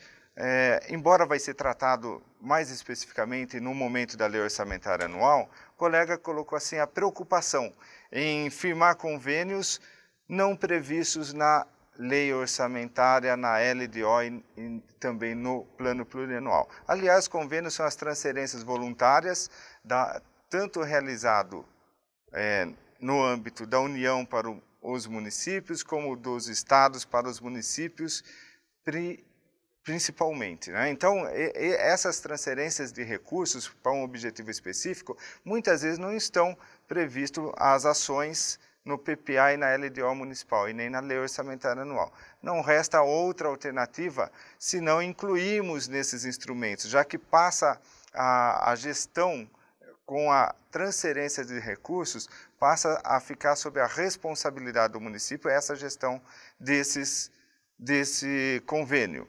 Então, precisa sim alterar o PPA, alterar a LDO e, em relação ao orçamento, abertura de CREs adicionais. Muitas vezes eu convênio uma fonte de recurso específica e aí a abertura do crédito adicional seria é, especial quando não previsto na lei orçamentária ou suplementar se tiver um valor insuficiente para o atendimento. Muitas vezes a própria lei orçamentária define algumas ações mais genéricas que, que conseguem cobrir alguns convênios. Quando não é genérico, precisa incluir ação específica e aí precisa dos rituais de lei autorizando a, abertura disso aí. Sempre a fonte, de recursos que tem sido problema para esses municípios. Quando chega recurso de convênio num orçamento já limitado. E aí nós orientamos por fontes de recursos, pela diferenciadas de recursos, nós orientamos a fazer pelo excesso de arrecadação, porque naquela fonte específica é, deve ter, como não foi previsto o convênio, uhum. seria um excesso de arrecadação, embora que a administração como um todo possa não ter esse excesso de arrecadação. Perfeito, Marcos. Então vamos uh, só relembrando um pedido que eu fiz a vocês para a nossa próxima aula. Na próxima aula nós vamos trabalhar com PPA 2010-2013 do seu município, a LDO e a LOA referente a esse período, ok? Nós vamos analisar mais profundamente, porque a partir da, da, da, da próxima aula nós vamos aprofundar a questão da LOA. Também lembrando de trazer tanto o PPA como a LDO que vocês trabalharam hoje do município de Formoso. Vamos continuar, vamos ter um caso formoso, onde nós vamos ter todo esse desenho do planejamento orçamentário, ok? Também outro lembrete, de acessar o ambiente virtual e fazerem as tarefas né, no nosso, do nosso curso. E também um outro lembrete que é muito importante, não se esqueçam de fazer a sua avaliação. Ela é um referencial importante para nós, para que nós possamos aprimorar e trazer sempre informações úteis no dia a dia de vocês. Então vamos dar uma olhadinha o que vem por aí? O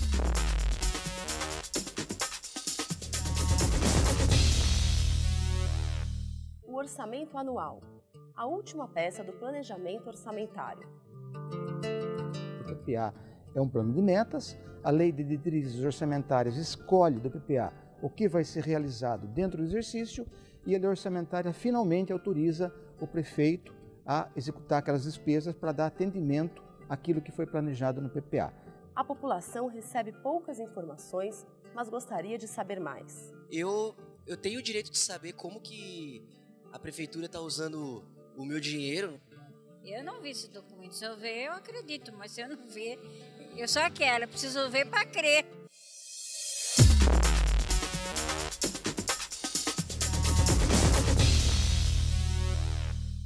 Bem, chegamos ao fim do nosso encontro de hoje. Na próxima aula eu vou estar presente, mas vou estar nos bastidores. E o professor Áquilas assume o posto dele. Marcos, muito obrigado pela sua presença. Eu agradeço, agradeço aos, aos colegas que participaram do evento. Com toda certeza, é, esse evento é tão importante é, é importante para vocês, mas para nós também. Nós também aprendemos muito nessa interação com vocês. Então, muito obrigado pelo convite, pela paciência de vocês aí também. Obrigado, Claire, também.